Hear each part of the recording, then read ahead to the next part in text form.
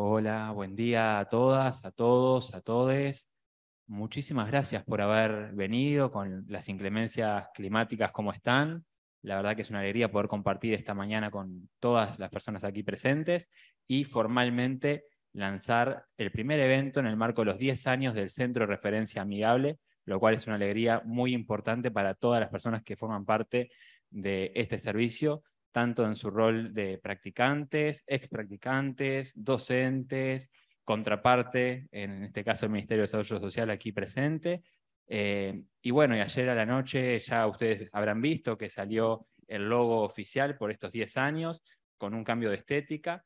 La idea es que vaya rotando, lo van a ir ustedes viendo a lo largo del mes. Hay varias ediciones del mismo logo.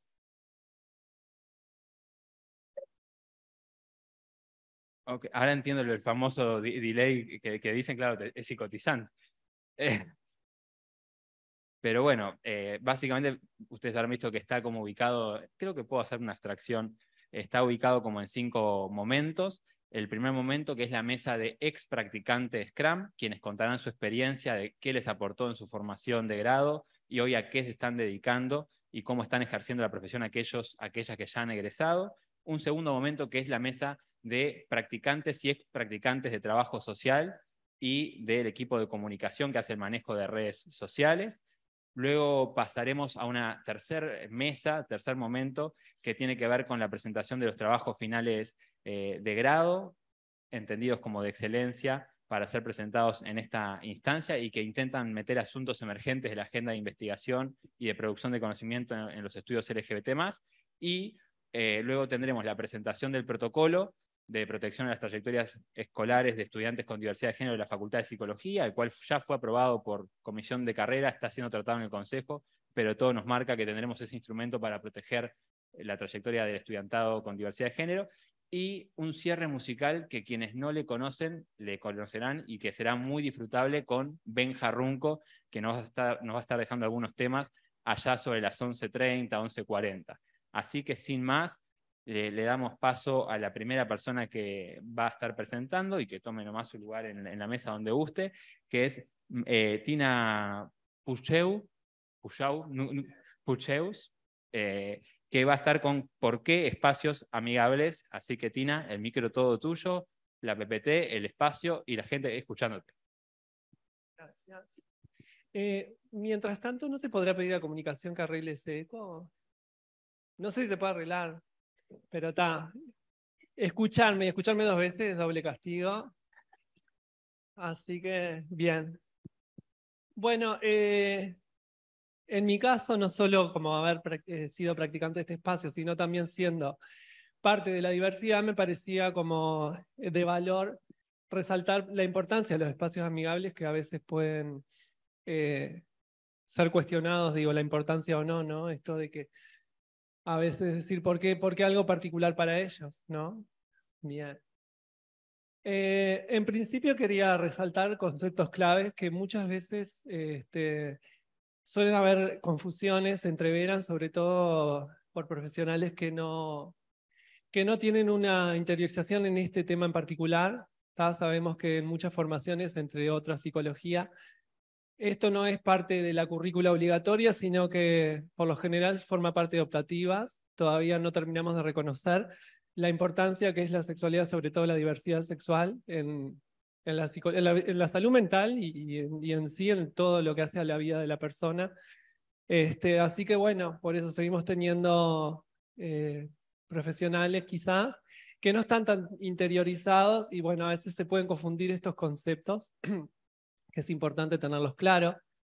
Como sabemos, el sexo biológico, varón, mujer, y en algunos casos se da la intersexualidad, ¿no? que es como una ambigüedad en la lectura de, los genitales, o sea, esta lectura que define el sexo biológico es una lectura de la genitalidad, digamos. Y bueno, ahí la partera dice varón, mujer, y si no se sabe, por lo general, intervención quirúrgica. Bueno, ahí empieza todo el quilombo. Eh, ya nos catalogan en algo, ¿no? Que lo problemático es todo lo que nos deviene después a partir de esa primera lectura, que es lo que, a lo que hace la identidad de género. Eh, tenemos eh, el cisgénero, que en realidad es eh, la forma esperable para, para esos eh, categorías, ¿no? A partir de esa lectura primera que hacen de nosotros, se nos enseña, se nos educa, se nos da una serie de prohibiciones y de esperables en base a simplemente una lectura de una genitalidad, ¿no? ese, ese constructo es un constructo histórico, sociocultural, que bueno, muchas veces eso puede generar eh, ciertas disonancias en nosotros, ¿no? O sea, en, los casos más extremos, por así decirle, tenemos los casos de las identidades trans, en la que en realidad todo lo que hace ese género que me fue asignado me genera cierta conflictividad. Eh, y bueno, y como que nos identificamos tanto más eh, con el otro género. dentro de trans tenemos todo lo, lo, que son transgénero, transexual, travesti que a veces no se ubica ahí, pero al fin y al cabo son identidades. Eh, y bueno, y lo no binario también, ¿no? Que es esto que también da muestra de cómo cada vez este, tenemos sensibilidades que no se adecúan a esos constructos eh, sociales, que no son más que constructos sociales. Eh, y bueno, y después tenemos a la orientación sexual que también hace a la identidad de la persona, que tenemos lesbiana, homosexual, bisexual, pansexual, asexual, bueno, heterosexual, ni que hablar también. Eh, hola. Ah, bien. Que aparte va con un retardo el YouTube. La diapo anterior está.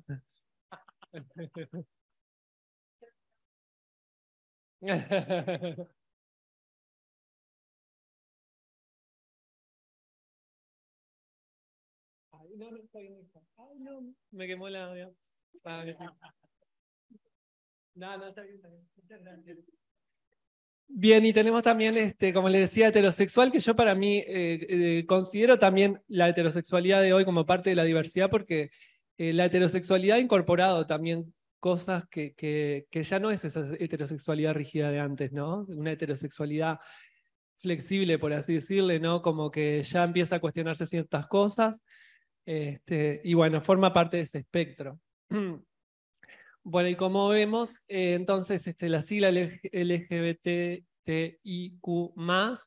eh, encierra tres dimensiones distintas, ¿no? Hace a lo que es la orientación sexual, lo que hace referencia a lesbiana, gay, bisexual.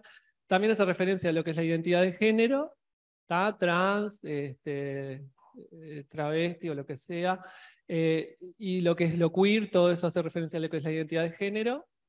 Y también tenemos referencia al sexo y biología en el caso de lo que es eh, intersexual. O sea, este, esta sigla encierra tres dimensiones que son tres dimensiones distintas. Pero lo que tienen en común es que todas están atravesadas eh, por lo que Michel Foucault mencionaba como los dispositivos de la sexualidad, que es al fin y al cabo la hetero, cisnormatividad obligatoria. ¿Ah? Este, bien.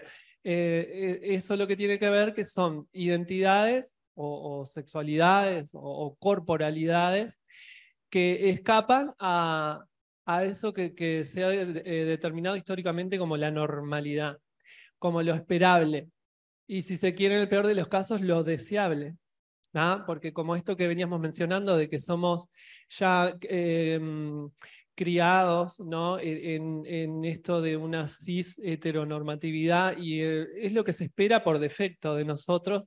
Entonces todo lo que vamos creciendo sabiendo que no respondemos a ese esperable o en el peor de los casos ese deseable, em, vamos ya eh, generando una identidad un tanto trunca, ¿no? Este, por eso todos atravesamos ese acto fundante que es solo propio de la diversidad, no le pasa a la heterosexualidad, de salir del closet. No sabemos que en algún momento de nuestras vidas vamos a tener que quizás decepcionar a nuestra familia o a nuestros amigos o, cercanos o a la sociedad en general.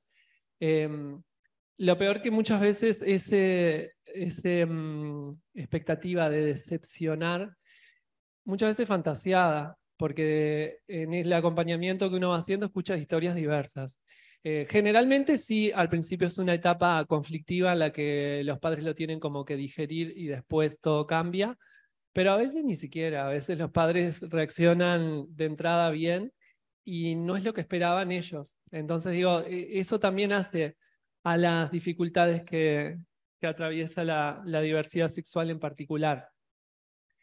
Eh, y bueno, y mencionando a, Eribon, Didier Eribon, eh, define la identidad como un proceso subjetivo y emocional que permite a las personas y a los grupos ubicarse en el mundo. O sea, qué, qué tan importante es la identidad, qué es lo que nos posiciona en el mundo, lo que nos da un lugar, lo que nos define. Este, y menciona, esto me parece importante, que la identidad ofrece seguridad a las personas. Por eso este, la, la, diversidad sexual tenemos eh, siempre esa seguridad en juego, ¿no? porque es como que, que la identidad nuestra está puesta en cuestión desde, desde el vamos. Y bueno, antes de pasar a esta diapositiva, lo que quería resaltar es esto, ¿no? Y por qué la, importancia de espacios amigables. Si todos estos conceptos que venimos mencionando no están claros por este, los profesionales de la salud que nos atienden, y en esto hablo en general incluso de los médicos, generan una barrera este, entre la persona, el usuario y el profesional. Cuanto mucho más cuando hablamos de salud mental, ¿no? Porque con un psicólogo tenemos que establecer una alianza terapéutica, una relación de confianza. Si yo eh, estoy ante un psicólogo que ni siquiera sabe cómo dirigirse eh, a mí como persona trans y me habla desde el sexo biológico, o si a una persona este, le asumes la heterosexualidad obligatoria, como me pasó en otra práctica, por ejemplo, una compañera le pregunta al, usuario si tenía noviecita. Entonces digo, em, damos también por sentado la, heterosexualidad y eso también genera una, una barrera, distorsiona y erosiona este, la alianza terapéutica. Entonces, por eso es tan importante eh, los espacios amigables, la sensibilización en estos temas, que no siempre forman parte del tronco común, sino que hace a que el usuario, el, usuario el, profesional decida o no este, capacitarse en, estos temas. Y que no es algo meramente caprichoso, sino que hace realmente a, que uno pueda generar un vínculo de sanación con, con el usuario. Entonces, este, eh, por eso acá definí como barreras, está tapadito ahí, pero dice barreras en el título, eh, y mm, bueno, definí como tres posibles barreras. En principio, la discriminación activa, la peor de todas, que creemos que hoy por hoy, por suerte, ya cada vez menos sucede. Antes era la norma, ¿por qué? Porque venimos de, un paradigma, de una concepción de la psicología que patologizaba este, a la diversidad sexual. Entonces, ya desde, desde, la, desde lo académico, eh, era, era una discriminación lo que se hacía eh, pero bueno, hoy por hoy pueden darse casos porque hay gente que todavía reproduce viejos paradigmas o porque tiene posturas religiosas o qué sé yo y, no sabe anteponer lo profesional de, sus posturas eh, personales. Pero sí, historias escuchamos de analistas que, toman este, actitudes discriminatorias o, digamos como que esto, que lo toman como una enfermedad y, y en realidad están incurriendo en, una negligencia porque están más bien causándole daño al usuario. Después tenemos la discriminación pasiva, que esto se da mucho más, y esto en, esto que les decía, de, cuando no se es un espacio amigable, cuando uno tiene apenas un conocimiento leve o no, o, este, sobre cómo atender estas realidades, uno puede incurrir en una discriminación pasiva, digamos, por, por omisión, por desconocimiento.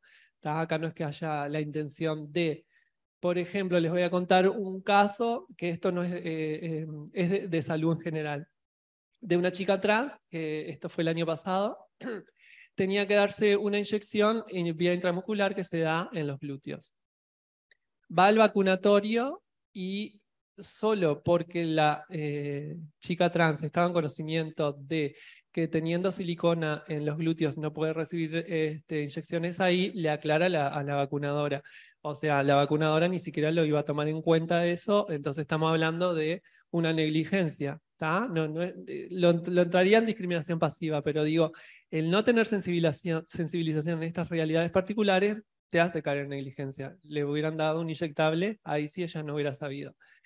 Eh, y aún así, eh, la vacunadora sé que nunca tuvo la experiencia de tener que dar en otra área vía intramuscular y no se atrevió a darle la inyección. Era un caso de sífilis, entonces digo, le siguieron demorando esa solución mientras la sífilis avanzaba. Este, y bueno, hasta que finalmente se, lo dieron, pero digo, esto, ¿no? Cómo desconocer a veces las, las, especificidades, que es el tercer punto de la diversidad sexogenérica, y no digo diversidad sexual, sino diversidad sexogenérica, porque la diversidad no solo eh, eh, tiene mm, eh, referencia a lo sexual, sino también a la identidad. Este, bueno, eso, hay que conocer las especificidades para no caer en errores. Y si no, por lo menos saber decir, yo esto no, no lo sé. El tema es que en este caso la, la, enfermera dijo, yo esto no lo puedo hacer, pero que, ¿en qué resulta eso? En que, bueno, tampoco se dio una solución por varios días más y estamos hablando de una enfermedad seguía avanzando. Entonces, bueno, ese tercer punto, el desconocimiento de las especificidades de la diversidad sexogenérica, también estas cosas que hemos mencionado, lo que es las dificultades de salir del closet, este, el vivir la discriminación día a día. Este, desconozco si hay realmente estudios que hablen de las consecuencias em, que genera en una persona al vivir constantemente discriminación. Tenemos en el DCM no sé, por ejemplo, las consecuencias de sufrir algo traumático, pero, o, una mirada patologizante de la diversidad, pero algo que se ocupe de decir las consecuencias que generan las personas vivir reiterada discriminación, no sé, desconozco.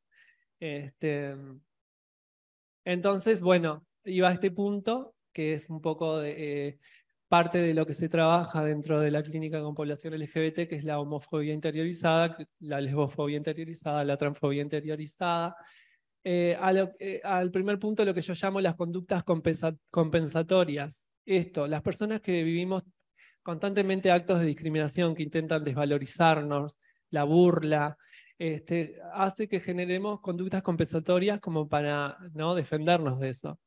Con las trans, que somos eh, las más discriminadas de todas, es muy notorio. A veces em, se ven en las trans como que generan como un ego inflado, como un airbag, para protegerse de los golpes, que genera rechazo a priori, ¿no? Pero hay que entender por qué se da eso. Eh, cuando a vos todo el tiempo te están queriendo hacer sentir mal, burlándose de vos, y sí, por lo general generas como, acá estoy yo y qué. ¿Ah? Y eso, eh, a veces la gente mira eso y, piensa que es parte de, que eso tiene que ver con la, con, la, con la diversidad, como que es algo más biológico o no sé. No, todo en realidad tiene que ver a lo cultural. No todas las trans son así, pero las que son así o las que pueden ser más agresivas o más defensivas es porque vienen atravesando otras historias de vida, hay algunas que están expuestas a la calle, este, y digo, todo eso eh, es en respuesta a son, son cosas defensivas. Es importante que, sepamos reconocerlo también para trabajar este, con eso, pero también es importante comprenderlo, este, por qué la persona es así. Em, también digo, bueno, pueden haber otras actitudes compensatorias, ¿no? A veces vemos este, que intentan ser como demasiado superficiales, como capaz que tratar de, de, eso que se sienten menospreciados acá, recompensarlos con un atractivo físico de, este, más, con cosas más superficiales o con, demostrando que como que tienen eh, eh, poder económico cuando no lo tienen. Digo, son, son actitudes compensatorias que se ven mucho dentro de la diversidad sexual. Em, después me pareció importante resaltar otra frase de Dier Eribon, que hay que reconocer diversidad de identidades gays y pluralidad de formas de sentirse homosexual. Esto aplica también para las trans, etc. Em, a veces eh, los profesionales como que generamos ciertas categorías, ciertas simplificaciones y como que em, generamos de ese modo como una única forma de ser Lo trans también parece que fuera como un, trayecto en el que el objetivo final es eh, ya sea el exteriorizar la reconversión, digamos, física o, el cambio de sexo, que en realidad eh, hay diversidades de, trayectorias, de, formas de transitar, no siempre ese es el objetivo, no siempre ese es lo deseable, o quizás no en ese momento porque no se está preparado. Entonces acá lo que hay que tener cuidado es que el analista no deposite sus expectativas o sus simplificaciones en el, analizan, en el analizado, este, sino que, trate de ser cauteloso, eh, reconocer que cada caso es único las categorías, las definiciones solo nos sirven como punto de apoyo, pero no los tenemos que tomar como, como algo así, este, sino en realidad estamos generando eh, errores de nuestra parte. Nosotros no tenemos que ser este, evangelizadores de, la sexualidad. Hay gays que pueden salir del closet, otros que pueden decidir que no. Eh, el tema es como eh, ellos, ellos son los que tienen la balanza y deciden qué ganan y qué pierden en cada decisión que toman. Entonces, eh, nosotros no tenemos que decir, no, el modelo de salud es salir del closet. Quizás no. Em, se conversa, pero siempre respetando la decisión del usuario porque el usuario es el que sabe. Y después, por último, eh, quería mencionar también los estereotipos de identidades del colectivo. A veces eh, nos refugiamos en colectivos, generamos como identidades subalternas, ¿no? como que en esos espacios que también eh, nos sentimos reconfortados porque ahí somos, podemos ser. Pero a veces esos colectivos, al ser más reducidos, también como generan identidades más, más este, fuertes, más estereotipadas, ¿no? Entonces también como que generan modelos de ser gay, modelos de ser esto.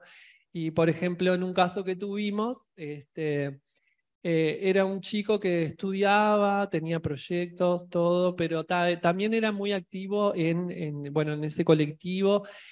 Y, él planteaba como que ese modelo de homosexualidad como más integrado socialmente, que trabaja, que tiene un proyecto, que tiene una pareja, como que era algo producto de Hollywood, que se veía solo en la ficción contrastando con la realidad de él, él se pudo dar cuenta que en realidad él tenía mucho de eso. Entonces, esto, a veces eh, esos estereotipos que generan los colectivos hacen que tengan una, una autopercepción idealizada, sobre todo porque a veces los, colectivos se apropian de terminologías despectivas que se usaban, por ejemplo, puto, raro, queer, eh, para resignificarlo, pero en ese resignificado igualmente siguen reproduciendo lo, despectivo, ¿no? Es como que e-, entonces también digo, ahí juega algo que, que, para ellos puede ser liberador, pero también genera estereotipos que, que, es, que digo, pueden aspirar a otras cosas, no tienen por qué atarse a eso, eso también no deja de ser algo un poco defensivo. Y por último, este, bueno, nada, eh, eh, que, quienes atendemos a la población LGBT, sobre todo en espacios como el CRAM, lo que hacemos es dar una atención integral. Nuestro rol es el de acompañamiento. Somos agentes de salud, pero también somos agentes de derechos. Nosotros estamos en conocimientos de cómo el Estado, a través de sus instituciones, este, garantiza los derechos, entonces este, siempre estamos derivando eh, o contactando con diferentes lugares, porque está, digo, eh, a, las personas que le atraviesan diferentes realidades, este, y bueno, está, eh, pueden ser derivable a cualquiera de ellos. Puse ahí más grande la más conocida, que es la, tarjeta de Uruguay Social para las personas trans. Este, pero está tiene que ver con el área de la salud, con el MIDES, eh, también con el BPS, el Samboa, que es uno de los referentes en cuanto a esto de, de, la hormonización y, todo eso. Y bueno, eso, eso también es parte de nuestro trabajo, estar en conocimiento de, de todos los derechos que se les puede brindar. Y nada, sería eso.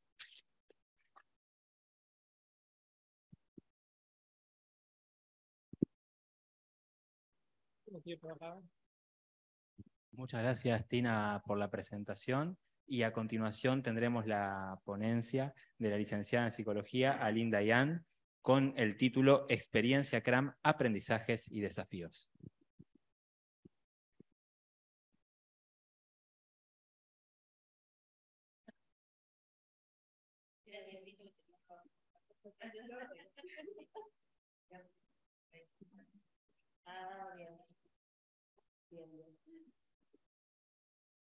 Bueno, hola, qué nervios el micrófono. Eh, bueno, nada, en primera instancia me gustaría agradecer por la invitación. Me da mucha alegría formar parte de, la celebración de los 10 años de CRAM. Creo que ha sido un espacio que, que me ha dejado aprendizajes muy significativos. Eh, yo cursé mi práctica en el año 2020, hace tres años. Eh, fue una práctica que estuvo muy atravesada por la pandemia. Nosotros tuvimos el primer encuentro presencial a principios de marzo y, bueno, y se detectaron los primeros casos de COVID y empezamos a, trabajar ya todo de forma virtual. Esto implicó como toda una movida en la práctica y en el servicio en sí. Em, En lo personal esto fue un desafío y a la vez un gran aprendizaje, porque en realidad eh, fueron las primeras instancias de atención clínica de, mi formación y se sumaba el desafío de que fueran virtuales. Em, implicó a nivel grupal una intensa formación también en, telepsicología, entonces lo que sucedió es que a la vez que nos formábamos en diversidad sexogenérica, también adquiríamos herramientas de, de la atención psicológica a distancia, que, bueno, que creo que también permitió en esto de, las oportunidades y los aprendizajes un mayor alcance, porque nos permitió trabajar en, procesos psicoterapéuticos con, con personas de otros departamentos, que era algo que, en principio no, no estaba previsto dentro del servicio. Em, a nivel personal me llevo como muchos de estos aprendizajes en, en, mi posterior trabajo, actualmente trabajo en la clínica particular también en forma virtual, y he tenido la posibilidad de acompañar procesos de, personas LGBT. Em, creo que esto de la pandemia, además de ser un desafío para, para los las, estudiantes, también lo fue para el servicio en sí, porque hizo necesario como reinventarse frente a, nuevas demandas que surgían y nuevas realidades que, que iban cambiando. Eh, ese año se desplegó en CRAM la línea de atención COVID, que, era una línea de, emergencia que, trabajaba con situaciones en las que la salud mental de las personas de, la comunidad se veía afectada por el confinamiento, eh, que implicaba bueno, otros tipos de respuestas, otros tiempos de respuestas, otras situaciones de emergencia, eh, formarnos en primeros auxilios psicológicos. Eh, lo que me sucedió es que a partir de los casos con los que íbamos trabajando iba siendo cada vez más consciente la importancia de estos espacios amigables también de los que hablaba Tina recién. Espacios amigables con formación en diversidad, la importancia en sí del servicio que estábamos brindando, de que una comunidad que ha sido históricamente vulnerada en el acceso a sus derechos, a la información, eh, tenga la posibilidad de, contar con un servicio con personas formadas en, la temática. Eh, las particularidades que, las personas de la comunidad han atravesado, han vivenciado, implica un aprendizaje específico que el CRAM hace posible eh, y permite que los procesos que se abordan sean desde un paradigma integral. Eh, el trabajo desde, desde, el enfoque afirmativo, desde el que trabaja el CRAM, es como el gran aprendizaje que, que, me llevo de la práctica, que implica trabajar con, con los consultantes desde una perspectiva despatologizante de las identidades eh, disidentes, eh, desde un lenguaje afirmativo, trabajando desde la psicoeducación, brindando información en un lenguaje afirmativo. Em, en la práctica también tuvimos la posibilidad eh, de trabajar en, talleres a adolescencias a partir de solicitudes que, que llegaron al servicio. Eh, eso me permitió también incorporar herramientas de trabajo en taller y, a medida que íbamos eh, experienciando las, vivencias del taller, también conectar con esto de la importancia de la transmisión del conocimiento en la temática en distintos ámbitos, a distintas franjas etarias, y también creo que fueron aprendizajes enriquecedores. A partir del paso por CRAM y del egreso en la licenciatura, he tenido la posibilidad de trabajar en atención psicológica con personas LGBT, y la, base de esto es la formación que, el CRAM me permitió tener. Eh, es significativo para mí ver cómo, los consultantes encuentran comodidad y seguridad en contar con un psicólogo, una psicóloga que tenga formación en la temática, y creo que en realidad forma parte de, de, su derecho y de nuestro compromiso también en esto de, que, de tener una formación específica en el área que, que trabajamos. Y que no siempre sucede. Eh, y que esto es lo que permite justamente poder brindar un, servicio de calidad. Una de las conclusiones a las que he llegado a partir de estos procesos es que me permiten estar como en un aprendizaje constante, incorporando sí muchas de las herramientas que he adquirido en el CRAM y en distintos espacios, pero también desde la importancia de estar en continua formación y de que es un campo que está en constante actualización también. Eh, también luego del egreso he tenido la posibilidad de trabajar brindando talleres de, algunos programas del MIDES, como el programa Accesos, em, que, es un programa que brinda espacios de, cupos laborales y capacitación a personas en situación de vulnerabilidad socioeconómica. Y, tener la posibilidad de que personas que no conocen de diversidad puedan tener un acercamiento, una sensibilización a la temática y pensar con ellos, con ellas, em, situaciones, eh, eh, abordaje frente a situaciones en donde los derechos y, eh, situaciones de derecho y discriminación o vulneración de derechos de, las personas LGBT y cómo abordarlas en espacios laborales también ha sido como, como una experiencia enriquecedora y que, aporta como significativamente a la temática. Eh, uno de los grandes aprendizajes que me llevo de la práctica es el haber incorporado la perspectiva de género y el enfoque afirmativo como una forma de mirar las distintas situaciones por las que transito profesionalmente. Eh, actualmente estoy trabajando en un hogar de madres con niños, niñas y adolescentes, y si bien en principio podría ser algo que no está como específicamente vinculado a la temática, sí la perspectiva de género me permite otra mirada, ¿no? Como esto de, de poder mirar desde otro lugar y, poder hacer intervenciones y, observaciones desde una mirada más integral que contemple como otras variables. Bueno, nada, volver a agradecer. No quería dejar de mencionar también al grupo humano con el que me he encontrado en este camino, dos docentes comprometidos, dedicados, eh, y un grupo de, compañeros y compañeras que, con quienes también hemos aprendido mucho. Creo que esto de, de la pandemia era algo que no quería dejar de, de resaltar porque fue algo como muy significativo en el año de, práctica. Y, creo que parte de lo que hizo que fuera tan disfrutable y de tanto aprendizaje tuvo que ver con, el grupo humano que lo componía. Eso, muchas gracias.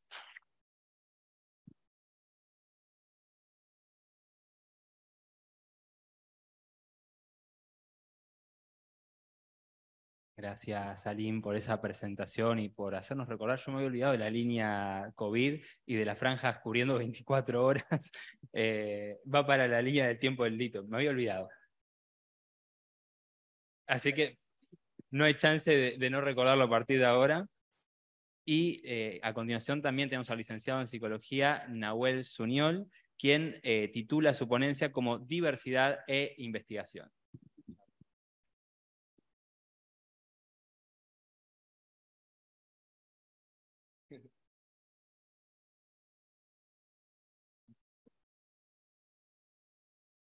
Bueno, eh, buen día para todos. Eh, primero que nada, gracias por la invitación eh, a participar acá de este evento.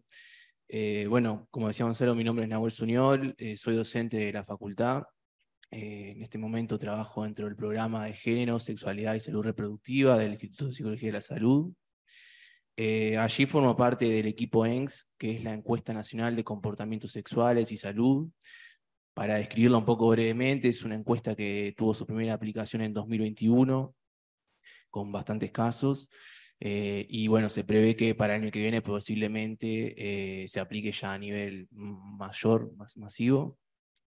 En este momento lo que estamos haciendo son más bien tareas de investigación eh, a partir de los datos que surgieron de la primera aplicación de la encuesta y bueno, haciendo foco en determinadas temáticas que nos interesan y que nos parecen relevantes y a partir de eso produciendo un poco de, conocimiento y algunos artículos. Em, en cuanto al CRAM, bueno, yo formé parte del CRAM en el 2019. Eh, en ese momento estaba en equipo Contina, me acuerdo. Em, considero que, fue un punto eh, de, inflexión en mi trayecto educativo, em, para bien. Considero que, bueno, en cualquier práctica sucede que es el momento muchas veces que podemos bajar a tierra los distintos conocimientos eh, teóricos y conceptuales que venimos manejando y es el momento de, bueno, de, poder aplicarlos, poder ponerles el cuerpo. Eh, pero más allá de eso, considero que el CRAM tiene la particularidad de tener un, muy buen nivel eh, desde un punto de vista completo de la formación, digamos. Eh, en ese momento la práctica era formato de clínica. Eh, en ese sentido me aportó un montón de herramientas eh, sumamente relevantes y que hasta el día de hoy sigo utilizando y, componen y me compusieron mi rol como psicólogo pero también a, su vez, eh, por otra parte, eh, aportó un montón de conocimientos vinculados a normativas, a conocimientos de distintos servicios, eh, para trabajar en red, digamos. en ese sentido, el CRAM lo que marcaba era una exigencia, exigencia en el buen sentido, no solo a nivel teórico, no solo a nivel metodológico, sino que también un compromiso y una responsabilidad no solo con los usuarios y usuarias que, formaban parte del servicio, sino que también con, la temática y, bueno, con la causa o el objetivo que, supone el CRAM.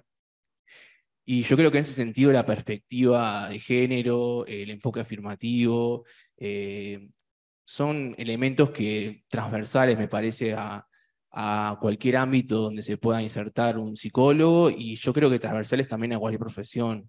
Eh, y me animaría a decir que, aplica también a nivel personal, como personas. Eh, en ese sentido, considero que es una perspectiva que, si en ese momento no la, todavía no la, formaste, el CRAM te, ayuda en eso, eh, y si no, también la fortaleces en ese momento. Yo cuando llegué al CRAM ya había hecho algunos cursos vinculados a, la temática, y creo que ahí pude asentar de, alguna forma eh, mi lugar en, ese, en, ese, en esa perspectiva. por otra parte, las supervisiones de, de, equipo eran sumamente enriquecedoras más allá de trabajar los distintos casos desde un punto de vista tal vez eh, más teórico, eh, también lo que pasaba era que había un gran nivel en el equipo de, estudiantes y docentes, eh, lo cual permitía que cada uno desde su nicho dentro de la psicología, pero también a su vez desde su lugar vivencial y experiencial de cada uno, pudiera aportar lo suyo. Y eran espacios para pensarnos y, pensar y construir en conjunto, cada uno desde su mirada, desde su perspectiva, eh, conocimientos, eh, trabajar los casos, pensar temáticas, discutir temas que iban surgiendo en, ese año, en esa época. entonces me parecía que eran, eran momentos sumamente formativos eh, tanto a nivel profesional como personal.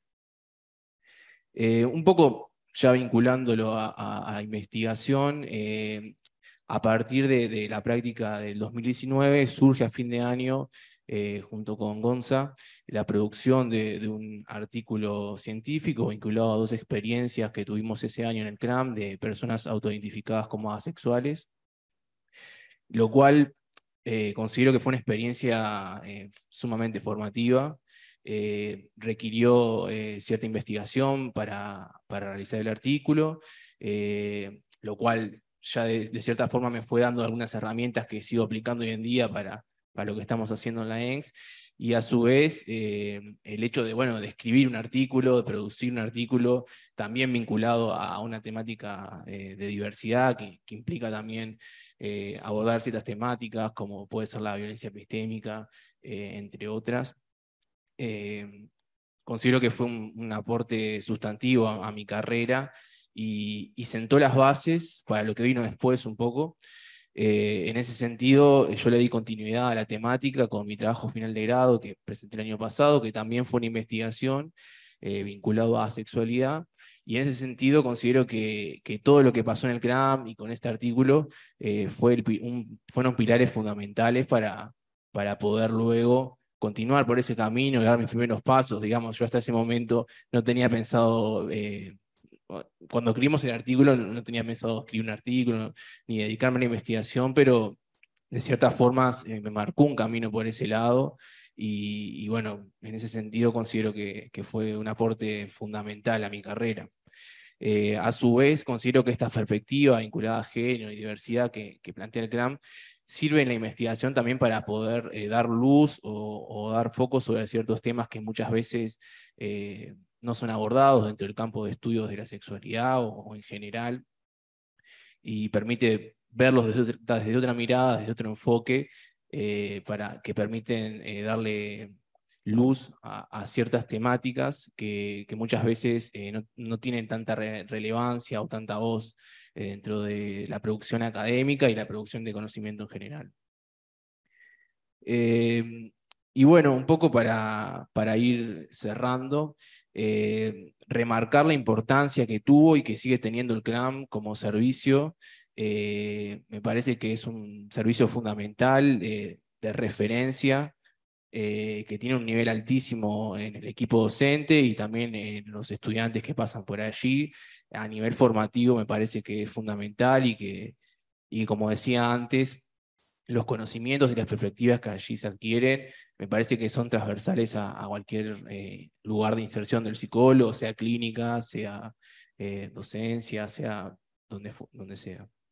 Eh, y en ese sentido me parece que es una práctica también de referencia fundamental y remarco nuevamente la importancia de que siga creciendo el CRAM día a día hoy hablábamos con Tina un poco de que, bueno, eh, cuando estábamos nosotros, el servicio todavía éramos menos y cada vez sigue creciendo aún más.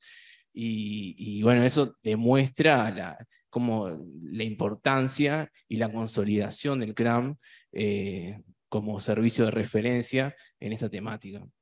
Así que eh, desde mi lugar, un orgullo haber formado parte de, del CRAM en ese momento y, también un orgullo poder seguir aportando desde, desde mi lugar, desde mi granito de arena, eh, a, que, a que siga, siga creciendo y, y continúe afianzándose este servicio. Así que bueno, nada, muchas gracias.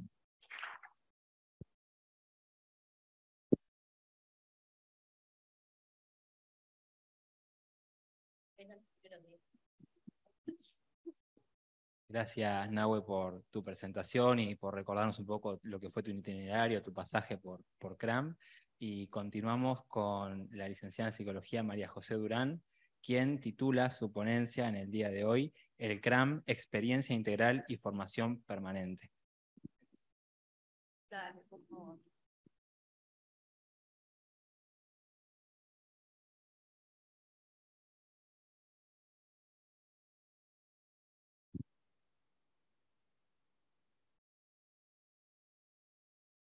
Bueno, ¿cómo están?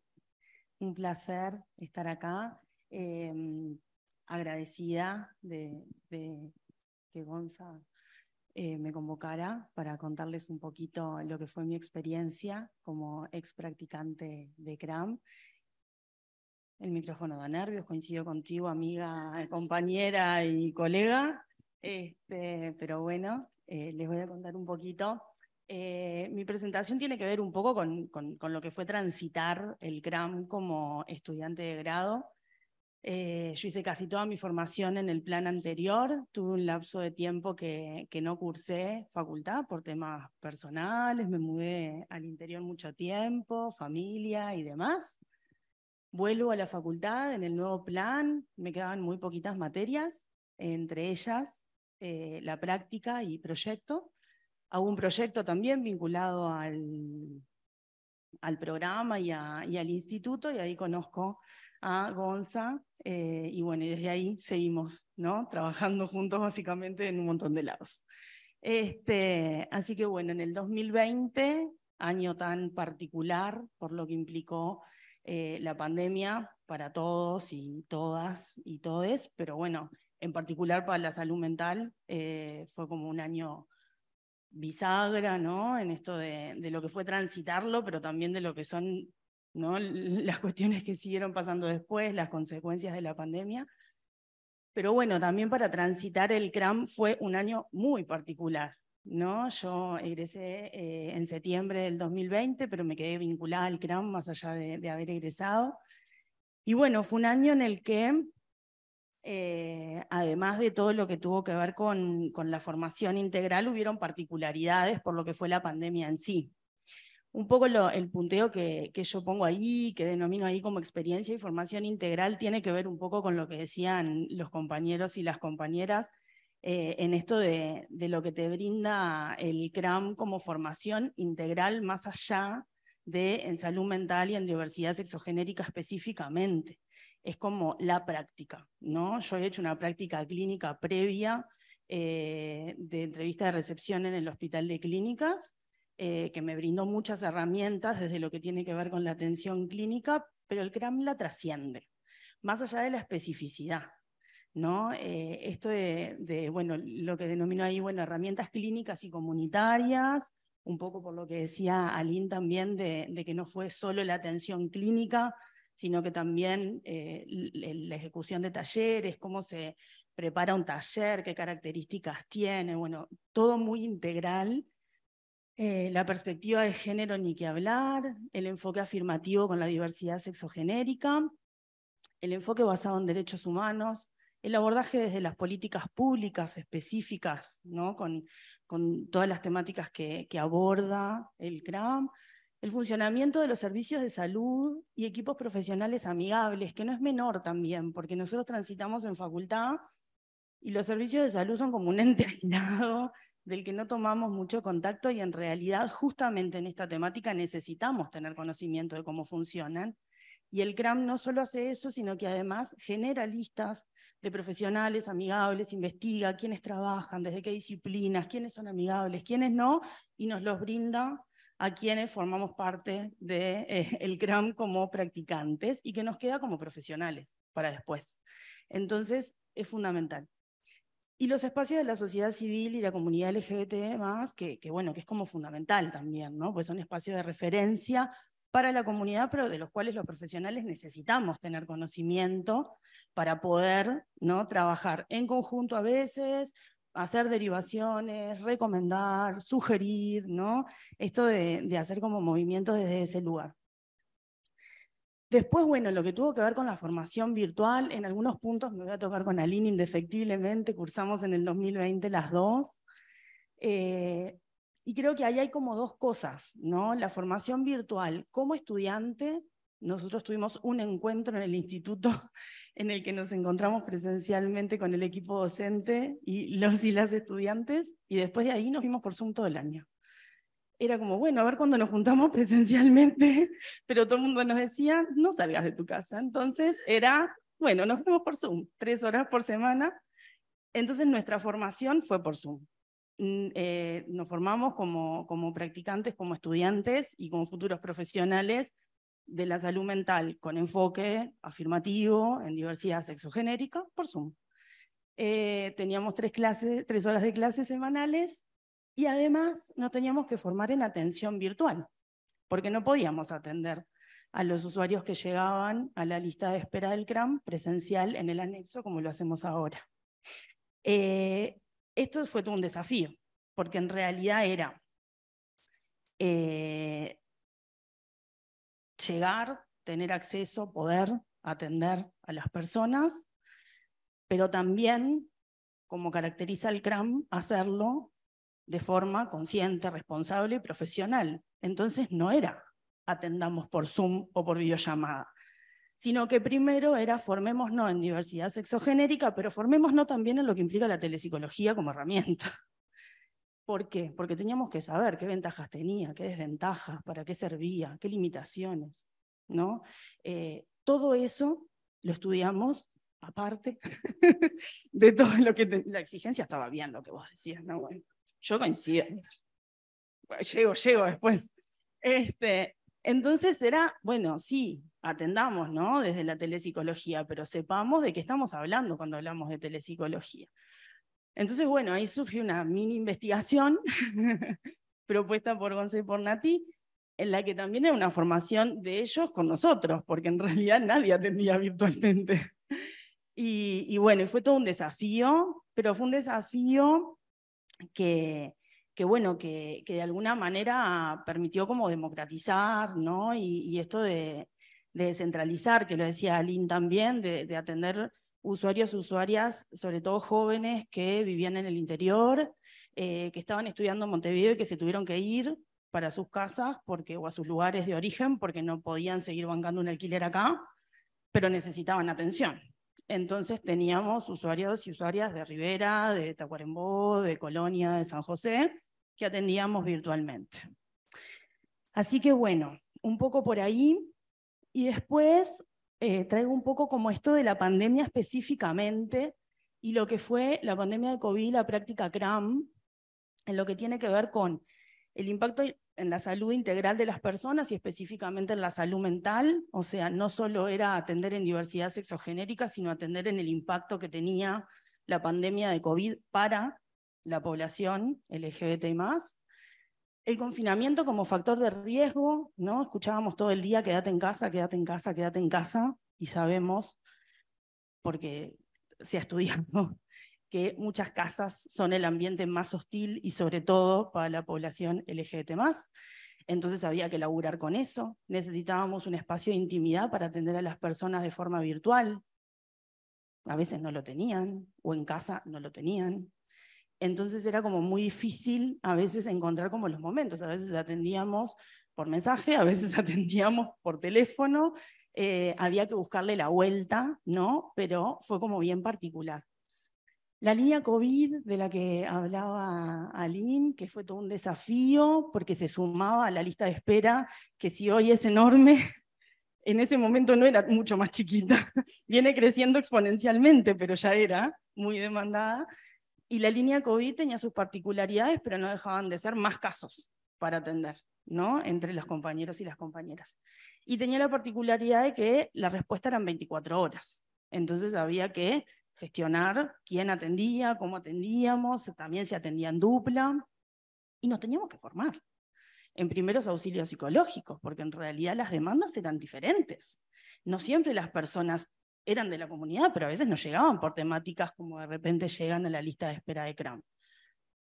Llegaban por ansiedad, por, ¿no? por situaciones de mucho estrés, por lo que repercutía la pandemia de COVID en las personas, el exceso de información, todo lo que todos y todas vivimos entonces, bueno, hay que formarse para poder desactivar esos estados, ¿no? Como de mucha ansiedad, virtualmente o telefónicamente.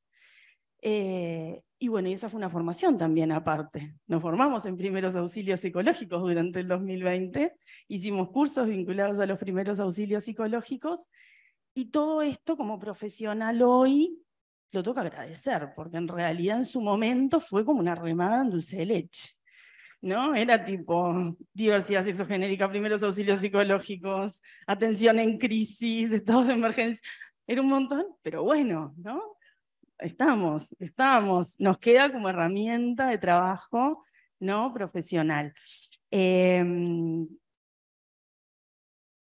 ¿Qué pasó?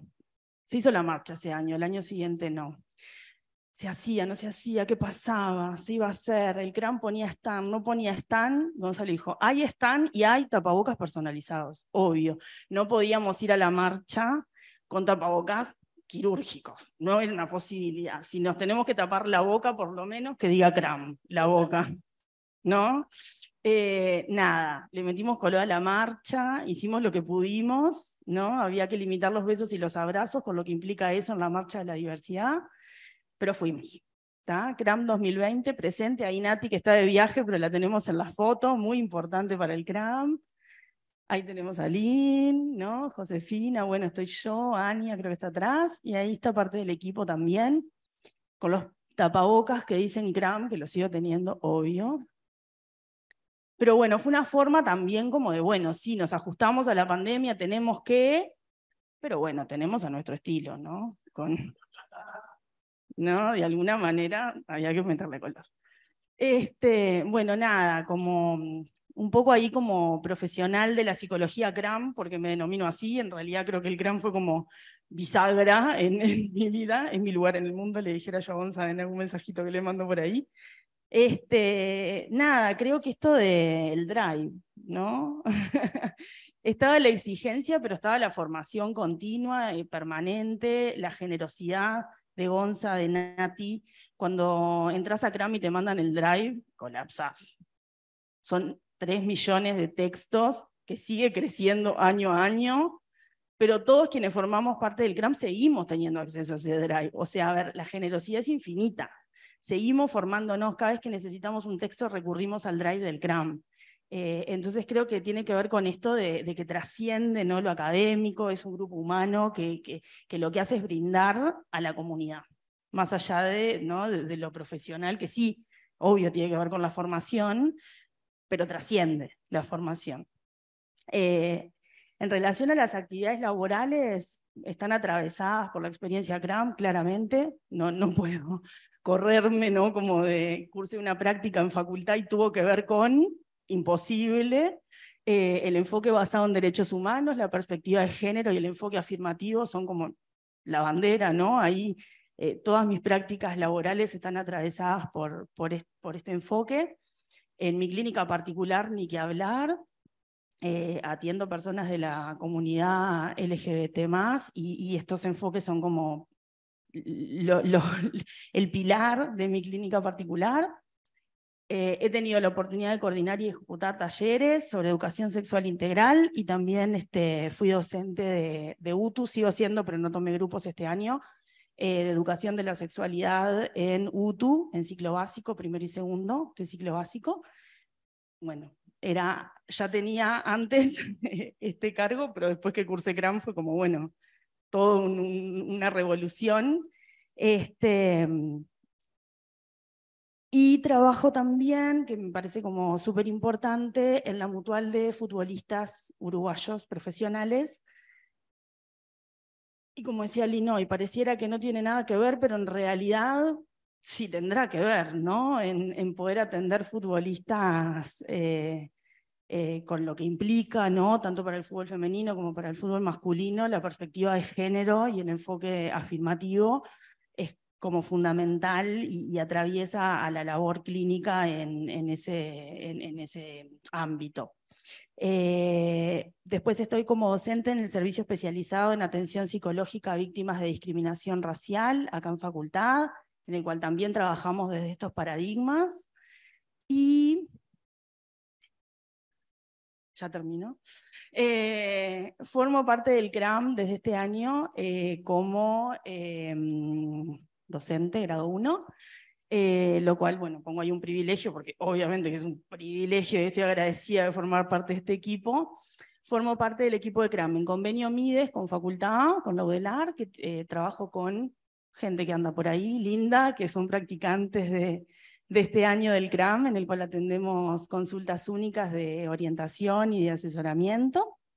Y después estoy trabajando en el primer nivel de atención en salud, en un convenio CRAM con la Intendencia, en equipos interdisciplinarios de atención a infancias y adolescencias trans y no binarias, en la Policlínica de Parque Bellán y La Teja, en el que, bueno, eh, todo un desafío, eh, porque bueno, eh, esto de trabajar en equipo eh, está buenísimo, pero también, bueno, nada, hay que como que reconfigurar ahí también un poco el rol, porque no es psicoterapia.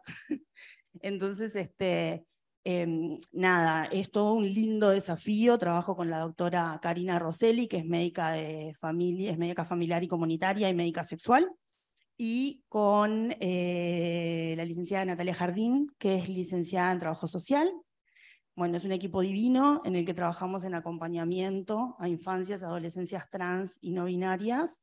Y un poco en lo que decía Tina hoy en su ponencia, pensaba en esto de, de la importancia de estos espacios, pero desde la escucha subjetiva de cada caso, ¿no? Esto de que en este equipo está de más, porque eso sucede, que es esto de ver qué pasa con cada persona que viene y qué pasa con cada familia que viene también, porque acompañamos no solo a las infancias y a las adolescencias, sino a las familias también.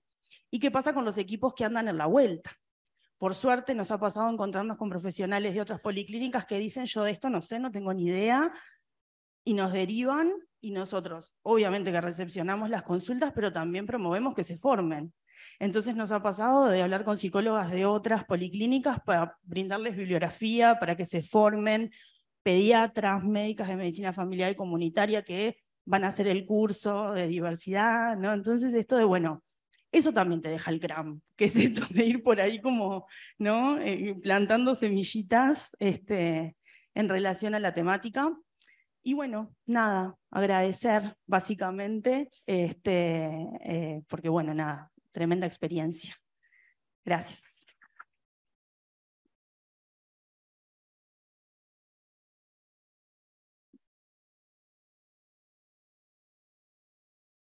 Tremenda la presentación de, Majo. Y bueno, para sigue llegando gente linda, querida, ahora que veo para, para allí. Eh, y cerramos la primera mesa con eh, Leandro Fernández, que lo veo por allá el fondo, quien va, justamente conecta sin querer queriendo, quiero decirlo, con lo que acabas de decir, porque es más allá de la diversidad a la pelotita. Se llama la, la presentación.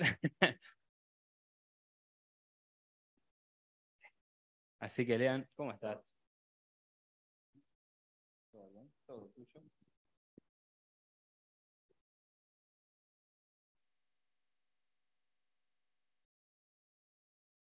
Después de esta presentación es bravo, ¿no?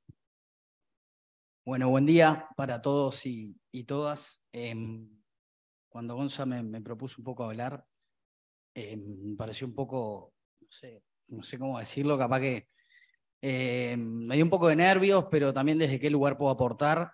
Y bueno, pensando ahora cuando finalizaba Majo, me hizo pensar en, en cómo llegué al CRAM, más allá de mi trayectoria, en realidad, en lo que tiene que ver con, el, con la facultad, la trayectoria educativa.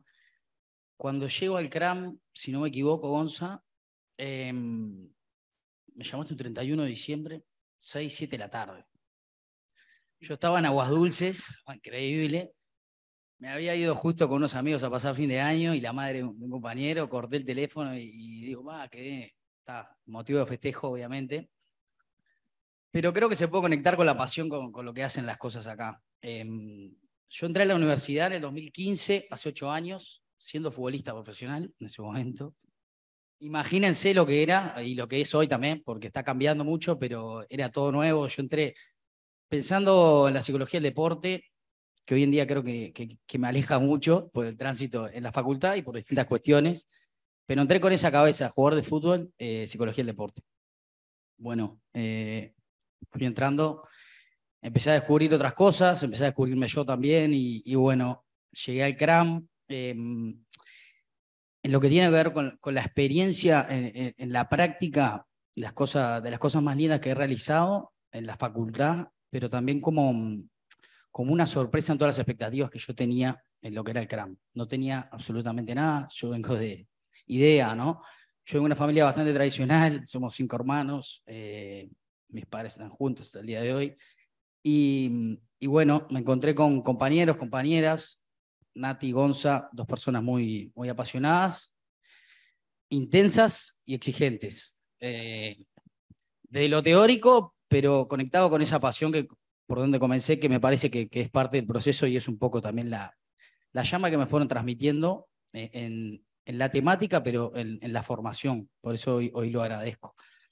Eh, estuve, estaba también en ese momento, jugaba al fútbol profesional y trabajaba en una ONG, tuve cinco años trabajando ahí, después fui a otra, y me ayudó mucho para trabajar en red, para acercarme a la comunidad y, hacer intervenciones en territorio con los diferentes equipos, aprendí un montón también de ese lugar, pero más que nada lo que me quería enfocar yo era en esto de mm, los aprendizajes eh, significativos en, en que me ayudaron pila a humanizarme, a cambiar la mirada hacia el sujeto, Tuve mm, procesos muy lindos, tuve con una infancia trans, haciendo un dispositivo en dupla con una compañera que al día de hoy es una amiga.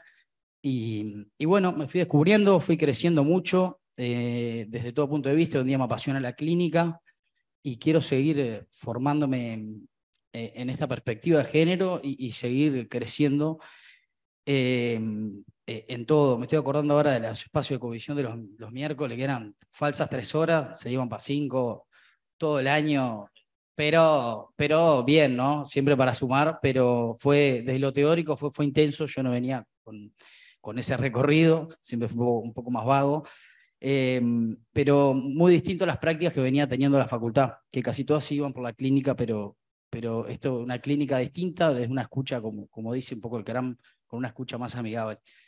Em, lo, lo, quiero conectar un poco con, con lo que con lo que fui viviendo y estoy viviendo hoy también, porque yo siempre decía que no juzgaba, que era abierto, que, los espacios también familiares, cosas que en realidad constantemente estamos reproduciendo y, no nos damos cuenta, entonces me, me ayudó Pila a habitar espacios que los habitaba desde otro lugar y empecé a modificar Pila.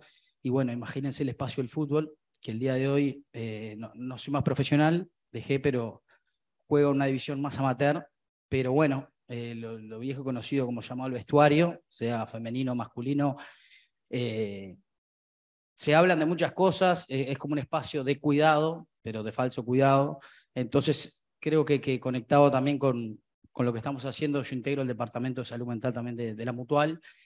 Nos estamos acercando con talleres, estamos dando, la temática específica sería prevención de la conducta suicida, pero en ese acercamiento van surgiendo diferentes cosas y, obviamente circula la palabra. Entonces, en ese lugar, con, con Gonza, que, hemos habitado, se empiezan a ver y hemos identificado cuestiones en realidad más eh, desde la masculinidad hegemónica, pero que de a poco se van empezando a, poner en palabras y, para nosotros eso es importante, por lo menos para mí, a mí me encanta que pase eso y bueno, no vamos a caer con toda la artillería pesada de una, porque es de a poco, pero, pero se están derribando barreras, se están abriendo discusiones y, y bueno, eh, un poco por ahí.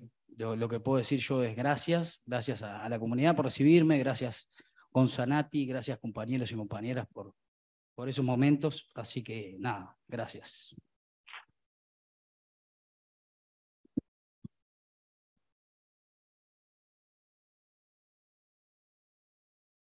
Gracias, Lean, por traer otra mirada también desde cómo ha dado pie eh, una práctica de diversidad sexogenérica a abrir terrenos en otros ámbitos que quizá eran impensables hace algún tiempo atrás y no tan lejano.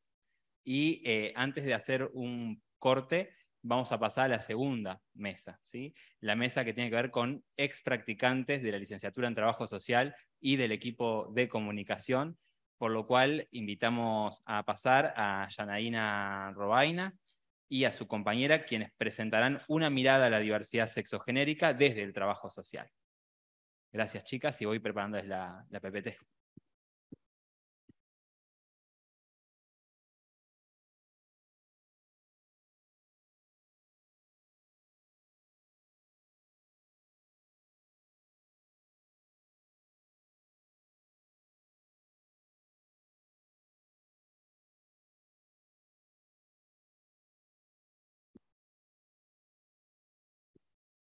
Eh, bueno, buenos días a todos. Mi nombre es Lucía, mi compañera es Yanaina, y ambas somos practicantes de trabajo social, que actualmente estamos en CRAN, haciendo nuestro segundo año de práctica preprofesional.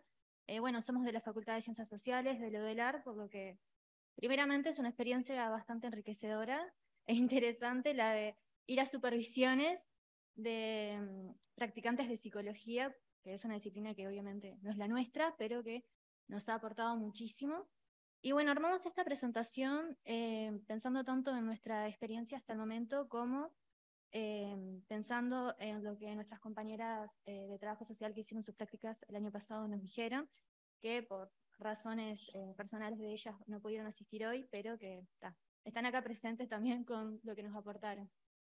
Bueno, eh, primero contarles que en la práctica en CRAM, primero los tres primeros meses aproximadamente se hace una preparación teórica de contenidos de la diversidad sexual y de género eh, para los practicantes de psicología y en este caso para nosotras también, lo cual nos parece sumamente importante porque cuando se, luego se van a hacer las prácticas, cuando comienzan las entrevistas eh, con las personas, es importante estar, estar formado, es importante eh, manejar ciertos términos y cierto conocimiento de forma de no eh, violentar derechos que ya de por sí se violentan, tristemente, de forma de hacer intervenciones que sean seguras, eh, que sean adecuadas y de no reproducir prejuicios o preconcepciones que podemos tener.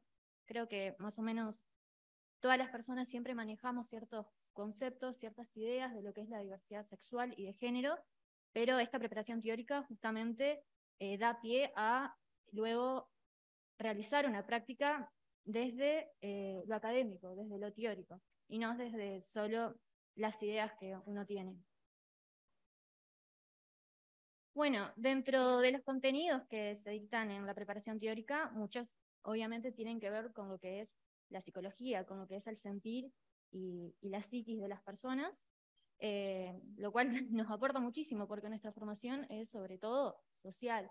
Manejamos quizás todo lo que tiene que ver con las problemáticas sociales, lo que eh, afecta a colectivos, a comunidades, a, a, minorías, pero es importante también pensar en la persona como un individuo, como eh, una persona que tiene sus propias experiencias y que en este caso, debido a ya sea su orientación sexual o su identidad de género, eh, lo atraviesan un montón de cuestiones que está, es importante tener en cuenta. Eh, se me ocurren, por ejemplo, eh, cuestiones como la homofobia y la transfobia internalizada, que eso no, los, no, lo manejamos de la forma en que lo aprendimos eh, con esta preparación teórica y que creo que es importante saberlo y comprenderlo con, para luego eh, hablar y tener las entrevistas con las personas. También, por ejemplo, lo que tiene que ver con los procesos de hormonización era algo que conocíamos, pero también desde un lado más quizás desde la normativa, no conocíamos tanto cómo eh, se abordaba este proceso dentro de lo que son los servicios eh, de salud. Por ejemplo, pensando en este abordaje escalonado, estas eran cuestiones que realmente no conocíamos tan en profundidad y que pudimos conocer y que luego podemos volcar este conocimiento justamente cuando tenemos nuestras prácticas.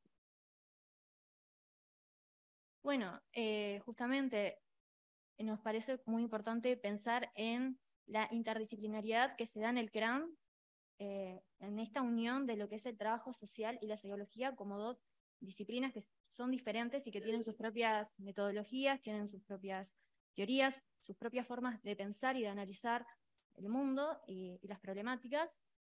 Eh, y pensar en esta unión y cómo es importante esta retroalimentación, eh, porque no es sumar, es eh, justamente juntar dos formas distintas eh, de abordar las situaciones para eh, generar algo en conjunto, que en este caso es un abordaje psicosocial, justamente, no, que no tiene que ver únicamente con el sentir de las personas, ni únicamente con preguntar acerca de sus condiciones socioeconómicas, sino que ambas, es pensar en ambas y bueno, creo que eso es importante y que justamente las personas les atraviesan eh, cuestiones que tienen que ver con la sociedad, cuestiones que tienen que ver con el sistema, pero también cuestiones que tienen que ver con su propia experiencia y sus propias, eh, lo que ha pasado individualmente. Bueno, buen día. Este, yo voy a hablar un poquito sobre nuestra experiencia puntual en lo que son las entrevistas en nuestro caso, en los consultorios. Eh, aclarar que recién hace muy poquito empezamos con lo que es la entrevista puntual, entonces seguimos como en proceso de aprendizaje y demás, eh, porque también es el primer año donde estamos como muy cerca de las personas. El año pasado era totalmente distinta la práctica, entonces eh, estamos como en ese aprendizaje de cómo entrevistar y demás. y tan, es un proceso.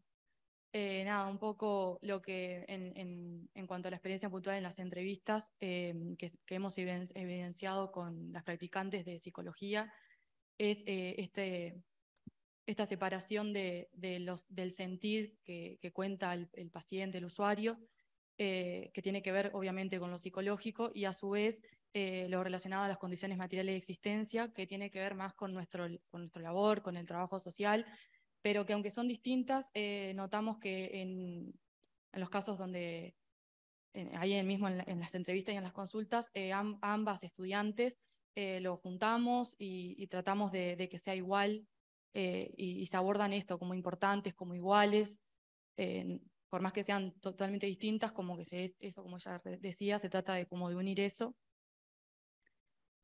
además, está esto de, las problemáticas que se hablaron a nivel teórico y demás, eh, las vemos en estas entrevistas, en, los, relatos se evidencian todas estas problemáticas que la población LGBT más eh, atraviesa. Y, mm, y tan obviamente que en el relato y en, la propia realidad de las personas, ¿no? Y desde nuestra experiencia, desde nuestra profesión, eh, las que más evidenciamos y notamos desde, desde el relato es esta falta de, de trabajo como la vivienda, que es, obviamente hay un montón más, pero esto, estamos como de hace poquito y como la que más evidencian eh, son estas dos.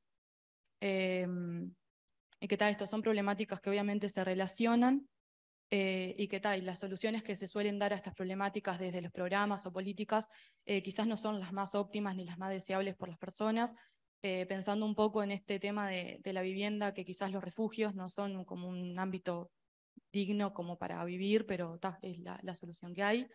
Eh, así que nada, un poco eso. Y nada, como consideraciones finales que, reunimos entre nosotras, es eh, nada, nos parece súper enriquecedor esta primera experiencia en CRAM eh, y más que nada con el trabajo interdisciplinario. que es una de, las cosas que el trabajo social, cuando nos recibamos y seamos profesionales, vamos a laburar con, con, otras profesiones, donde vamos a decidir y llevar acciones eh, en conjunto con nuestra profesión. Entonces, este primer acercamiento creo que está genial y nos permite como eso, y no todas las prácticas tienen este acercamiento interdisciplinario eh, en nuestras prácticas, principalmente desde la Facultad de Ciencias Sociales. Entonces nos parece súper enriquecedor este acercamiento con el trabajo interdisciplinario. Em, eh, también se me ocurre ahora de comentarles capaz un poquito más desde nuestra experiencia personal y decir que nos hemos sentido cómodas realmente con, con el centro, con nuestras compañeras y compañeros, y con los docentes encargados, que se nota el compromiso y se nota la vocación y creo, yo diría la pasión acerca de, estas de estos temas y, y, de tratarlos con el respeto y el cuidado que es debido. Eh, que nos preocupaba un poco antes de comenzar las prácticas cómo se iba a hacer esta unión entre trabajo social y psicología, porque obviamente eran todos practicantes de psicología y estábamos nosotras dos ahí casi invadiendo, no sé si invadiendo un espacio, pero lo sentíamos un poco así al principio, yendo a una facultad que nunca íbamos, que en mi caso me implica caminar un poco más, pero bueno. Eh, pero no, realmente nos sentimos integradas eh, cuando hay situaciones em, que pueden requerir, requerir, de cierto abordaje dentro de lo psicosocial, nos llaman, nos cuentan, incluso cuando se están dando ya los tratamientos psicoterapéuticos, que son los que se abordan en la supervisión, eh, muchas veces se desprenden cuestiones donde ahí podemos entrar nosotras con nuestra intervención y sentimos esa, esa apertura y ese espacio, lo cual es muy importante porque nos aporta muchísimo para nuestra formación. Eh, y bueno, esto, que también en el, en el futuro y cuando seamos profesionales, creo que esta unión entre psicología y trabajo social se suele dar en muchos espacios, en muchas instituciones y organizaciones, entonces está realmente, está buenísimo. Eh, nada, yo para cerrar, eh, como esto de, que creemos súper importante el trabajo social en esta práctica, eh, nada, desde mm, esto que creemos es súper necesario que siga este convenio entre ambas facultades porque creo que es enriquecedor para ambas prácticas, tanto de, para que se una, se haga esa unión y siga y ojalá se pueda seguir y nada, eso.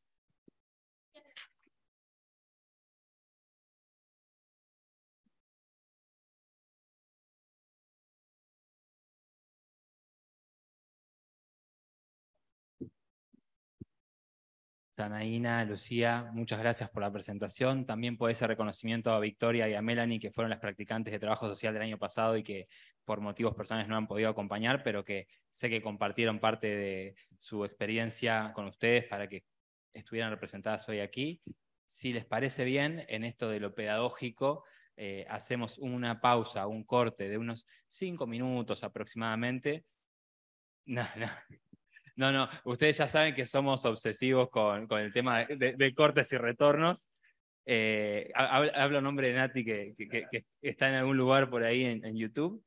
Así que hacemos un corte de cinco minutos como para poder refrescar, tomar agua, un café, lo que deseen.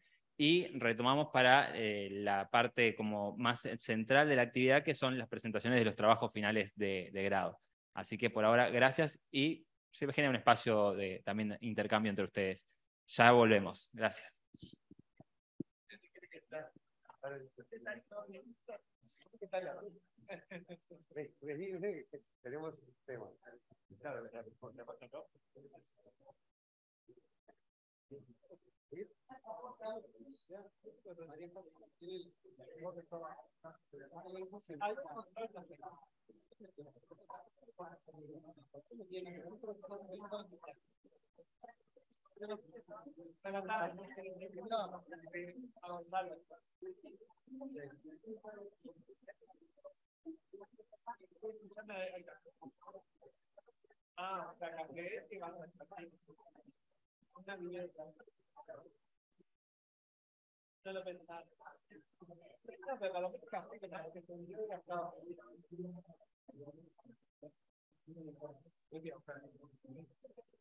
No,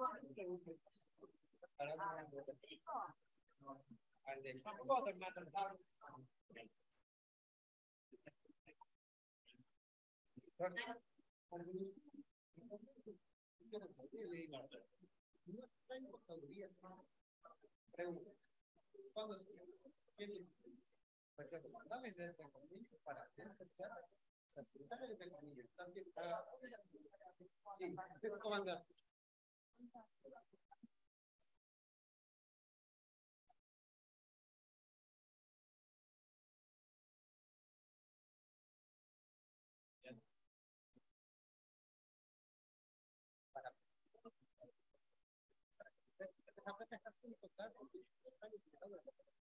¿Qué pasa? Ahora yo leí la definición de.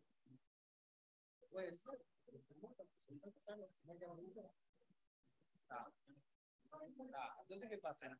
Como la extensión de mapa, ahora tuvimos que leer. La extensión de mapa decía, ahora, Ah, está, está bien, eso está bien. Eso es lo que a pensar. Como la intención de mapa dice, tiene, como ustedes economía, ellos agarraron otra vivienda. Es nuestra. De tiene que conviene. ¿Quién está Ah, entonces, ¿qué hago? Voy a. Ah, entonces, ¿yo qué hago? Junto con voy a ellos ni la tercera que el para para continuar con nadie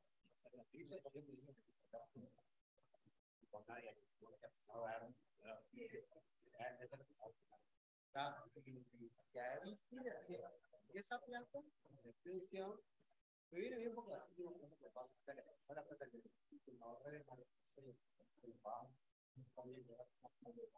eh, ahora puedo pagar un par de veces más o para la está. Pero voy a eso está Voy a aprovechar ahora que estamos en el horario de.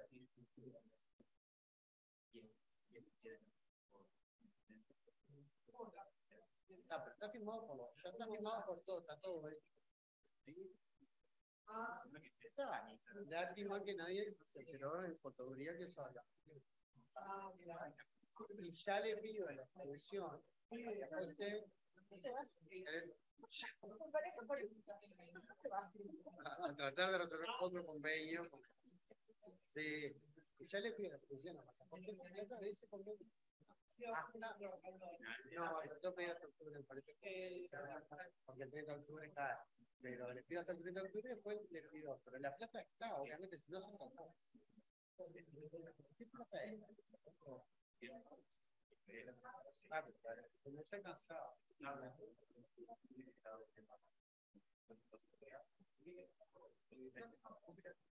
lo que pasa es que yo se lo puedo pedir, pero el 3 de octubre máximo hasta el primero de febrero que encargo de ella. Así que ahorita hay otro Bueno, pues vemos, yo cuando esté la igual, igual ya pagamos.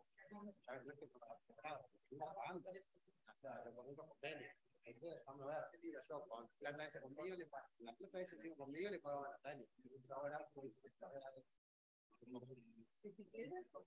no, nada. No, es que los cargos, de, cargos que no son. Ahora, vamos para cantidades. Imagínate, ocho meses, Natalia. No, pero imagínate que estos ocho meses Natalia no existiría si no tuviéramos 22 convenios más con el que vamos. Bueno, si la función fue la pediste en mayo, quiere decir, por lo menos de mayo te tomaba. Hay una explicación de Viagra. Cuando hay algo raro, hay que encontrarlo. Sí, no, sin gastar.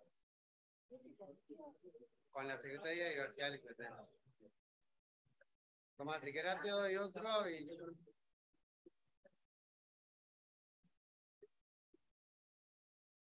Bueno, contaduría tampoco.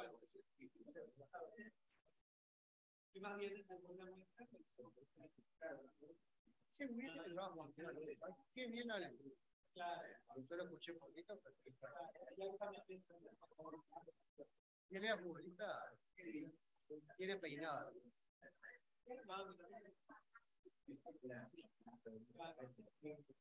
Bueno, ¿quién iba a decir futbolista?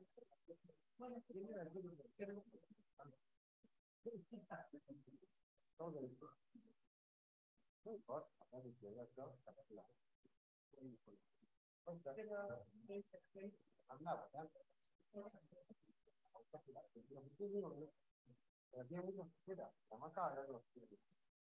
Nada,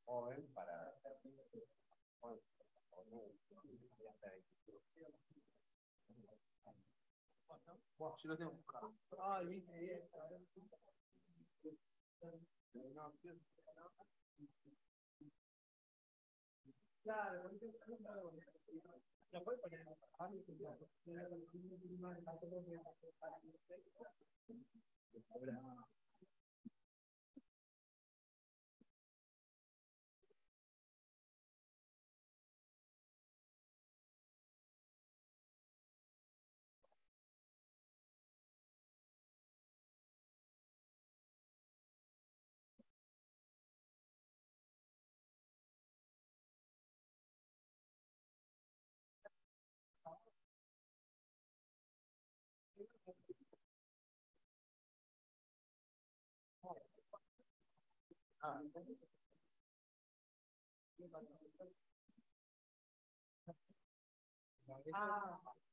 cuando cuando cuando firmado por mí, la plata, es el 600. Porque el gran, porque, porque ya se lo pusiera pero no se lo pusiera no, no se arranca. Se te pasa. Porque Preguntan, cualquier cosa, cualquier cosa que conmigo en las reuniones duran 15 minutos.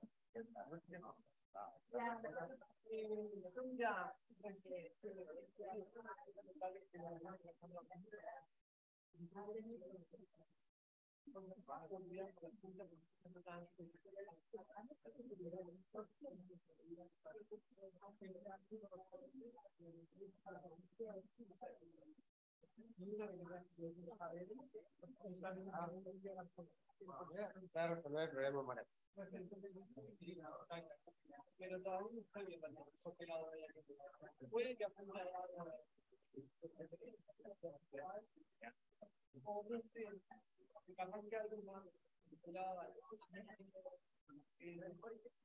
este lado me. Por en la. La matemática de la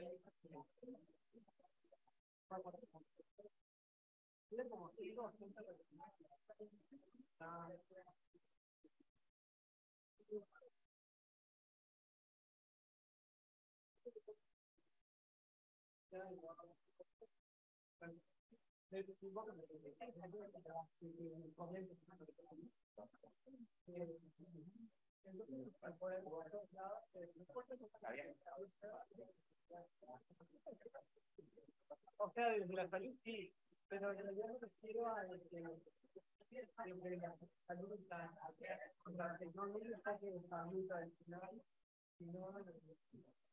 porque tampoco lo tengo me parece que porque a veces más de que de los médicos, entonces eso podría ser interesante. Pero está, hasta que no empiece el año que viene, porque siempre la tercera de la, pasar siempre en la Entendí siempre. Pero sí, me, empezaron a comprar libros. Cuando estuve a la universidad, hay otro que está más no todo un poco de tractor, un poco de no pero como que, aunque te pones de y es como no, no, por catequismo, que se está enfrentando la violencia. Pero me parece muy interesante los tractores, porque está, a veces pueden decir algo, lo recomiendo de prepararlo, pero no pasa Claro, porque que yo creo que a veces me que tenemos todo y que levantamos mucho en la que tenemos nosotros, no y hay que saber también. Ya digo, porque a veces eh, crítica que difícilmente o simplemente para digo para saber qué entonces también me encontré este porque me Sí, porque que, que hay muchas salas ahora que,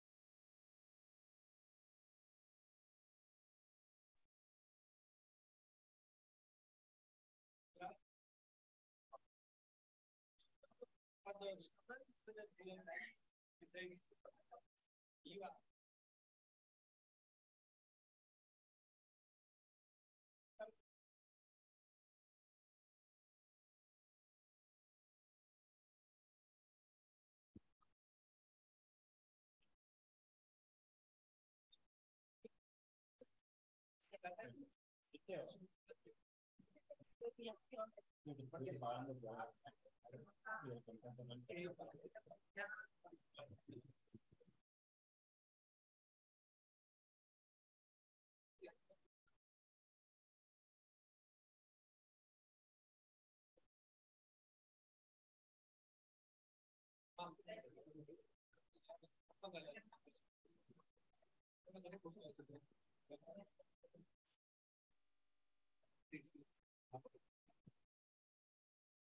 Gente, muchas gracias por haber vuelto en tiempo y en forma. Eh, si les parece bien, vamos con la gente de comunicación. Así que le pido, por favor, a Cami y a Facu que puedan pasar adelante. Facundo Gómez y Cami Hastoy. Silveira, perdón. Claro, ahí. Entonces, tomen asiento nomás y un gusto escucharles.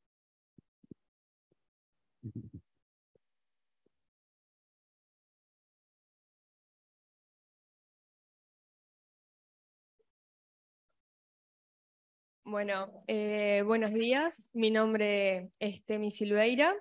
Nosotros somos, eh, bueno, fuimos eh, parte de la comunicación del CRAM. Nosotros manejamos las redes sociales, ya sea Instagram, Facebook. Creo que fue eso, ¿no? Más que nada YouTube. Más que nada. Ah, vos YouTube. Sí. Ah. YouTube, creo Buenos días, todos, todos. Gracias por venir. Eh, en realidad, formamos parte del CRAM, pero en diferentes periodos, por eso un poco la improvisación. Eh, yo estuve hace dos años, em, en el primer semestre de 2021, eh, bajo, ambos estuvimos bajo la materia cooperación institucional, que busca un poco eso, cooperación institucional, que no es, diría, no es del todo una práctica, eh, tampoco es algo teórico, se trata creo de ponernos eh, en situaciones que aparentemente no serían tanto del ámbito sí. Eh, entonces estuvimos en la parte de comunicación del CRAM, también como para mostrar un poco la diversidad de cosas que se pueden hacer en el CRAM, viendo un poco todos los relatos de la gente que fue pasando. Y mm, estuvimos a cargo de las redes sociales, em, también en mi caso me, tocó tomar contacto con todas las temáticas de género, diversidad sexual, diversidad sexogenérica, em, cosas que quizás no estaba eh, tan familiarizado y, en la trayectoria no había tenido hasta el momento tanto contacto, salvo una materia, con Gonza también, articulación 2 ahí.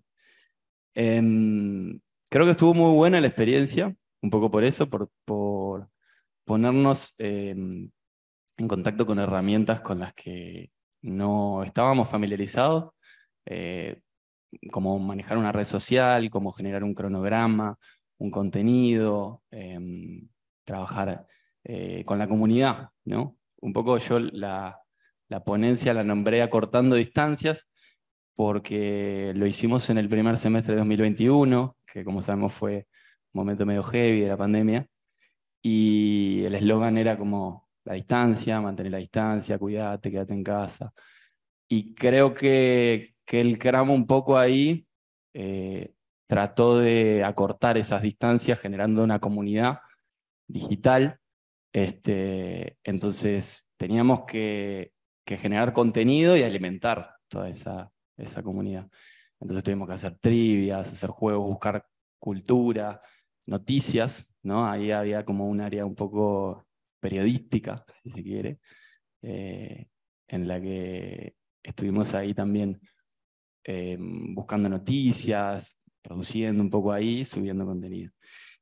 Y lo más eh, disruptivo, por decirlo de alguna manera, fue los streaming, esta nueva forma de hacer televisión, ponele, eh, con la que inauguramos el canal de YouTube, Cram TV, que creo que sigue, sigue ¿no? Eh, pasó mucho tiempo. Em, y bueno, tuvimos la oportunidad en el streaming también, de eso que daba el streaming, de contar con gente de otros lugares que quizás no hubiese podido asistir. Eh, tuvimos entrevistas, por ejemplo, me acuerdo con Mara Gómez, de futbolista profesional eh, de la Liga Argentina. También estuvo Diego Sempol, hubieron autoridades de la Intendencia, estuvo, estuvo bien variado y bien diverso. Y, y bueno, claro, eh, tuve que aprender a usar una herramienta de streaming que no tenía ni idea. O sea, desde cómo o sea, gestionar todo, que saliera todo en orden porque se iba a transmitir en vivo. Este, era ahí un poco también exigencia, como nombraron algunos y algunas. Y mm, nada, para mí en mi caso fue un placer trabajar eh, todo eso. Eh, y el equipo estuvo muy bueno también y poder decir que me llevo amigos de esa experiencia, Gonzana, ti que no está, Manu también, que era la chica que hacía dupla conmigo. Y un poco por ahí fue lo mío, no sé, Temi, si quieres hablar.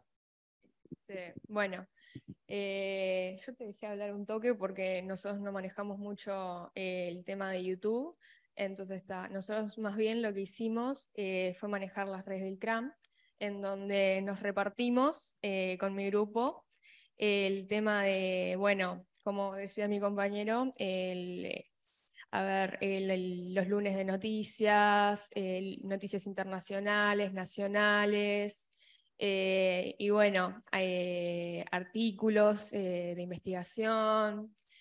a mí la que me encantaba era Jueves de Cultura, yo estaba a cargo de los Jueves de Cultura, en donde, bueno, yo ya venía con una trayectoria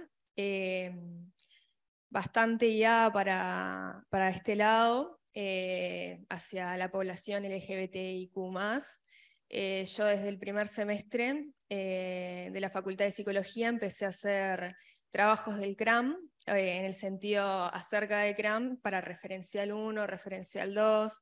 Tuve la oportunidad de entrevistar a Irene Barros para uno de mis trabajos parciales, tuve articulación de saberes dos, sí, con eh, Gonza y Pablo. Y bueno, eh, mi ponencia eh, es Cicatrices en la Memoria, que prácticamente está basado también en no solamente mi trayectoria por lo que es comunicación del CRAM, sino también este, basada en un libro que se titula así. y bueno, me pongo nerviosa. Este, bueno, prácticamente eh, este libro habla sobre las voces de las personas del colectivo LGBTIQ, eh, relata las vivencias de homofobia, transfobia, eh, acoso físico y psicológico que estas personas sufrieron a lo largo de su infancia y adolescencia. Me parece que esto viene totalmente acorde porque nosotros tuvimos la oportunidad de hablar directamente eh, con las personas que eh, venían a pedir eh, auxilio, ayuda, no sé cómo denominarlo, al CRAM por redes sociales, o sea, tuvimos como la oportunidad de ese primer contacto, que obviamente nosotros nunca habíamos podido experimentar. también, no sé, aprender un montón, ya sea mediante las noticias que, veíamos, eh, los libros, que mal o bien eh, varios me leí. Eh, también en el momento que, estaba, en la pandemia, yo arranqué psicología y ya con la oportunidad de, entrevistar a varios profes y eso, también hablamos sobre el tema de, donde debería haber amor, hay hostilidad en la casa, en donde no sé, donde CRAM también se llevaba eh, mediante Zoom o no sé, virtual, en, espacios donde no eran amigables, por así decirlo. Este, y bueno, no sé qué, qué más ir hablando, pero para ir cerrando y no darle muchas vueltas, este, todos somos diferentes y hay que tratarnos eh, de igual manera para poder, para que podamos ser como somos. Este, las heridas eh, dejan cicatrices, pero sin embargo, cada cicatriz es parte de nuestra historia y hay que saber cómo tratarla. Y me parece que CRAM fue una gran oportunidad para poder ver todo esto, para poder sentirlo de cerca y bueno, eh, más adelante espero poder quedar en la práctica. Muchas gracias.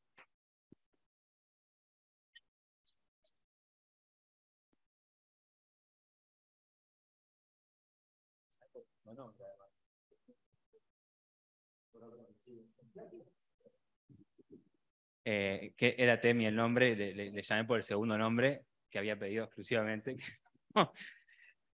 Cosas que pasan. Eh, y bueno, y, también los viernes de, de socialización, cuando ustedes compartían los lugares para esparcimiento y el derecho a la cultura, espacio seguro para la comunidad. Así que gracias, compas, por reconstruir un poco el proceso de CRAM en entornos digitales. Y empezamos la mesa de presentación de los trabajos finales de grado y el primer TFG a presentar es el de la licenciada María José Martínez, que, como ustedes ya lo ven en el fondo, el título es No es terapia los ecosieg desde una mirada histórica, que sé que ha generado bastante interés, así que Majo, todo tuyo el micro.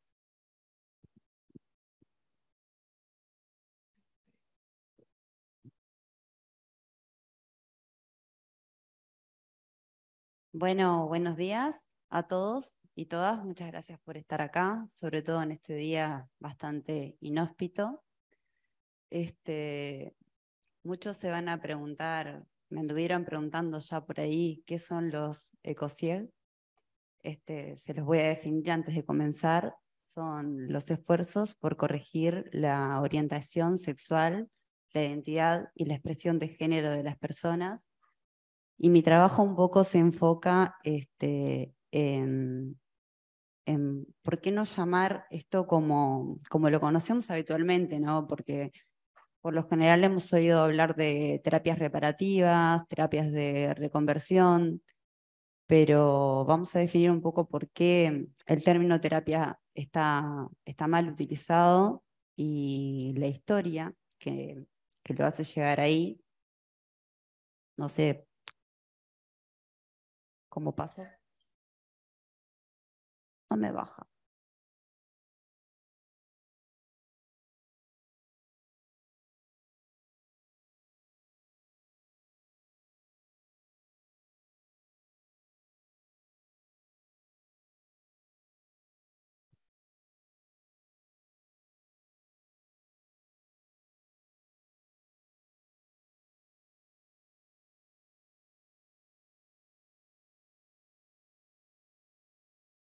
Bueno, este, yo también tuve la oportunidad, por suerte, de realizar mi práctica en el CRAM en el año 2021, también en plena pandemia.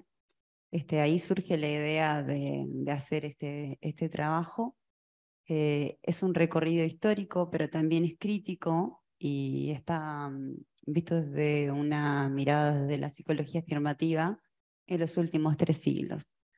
Voy a hablar un poquito de lo que es la, la patologización de las sexualidades disidentes, este, que es lo que da comienzo a todo esto desde la revolución científica, eh, los supuestos pseudocientíficos en los que se basaron varios ámbitos, no solo el psicológico, sino también el médico, el psiquiátrico, este, y particularmente eh, el psicoanálisis.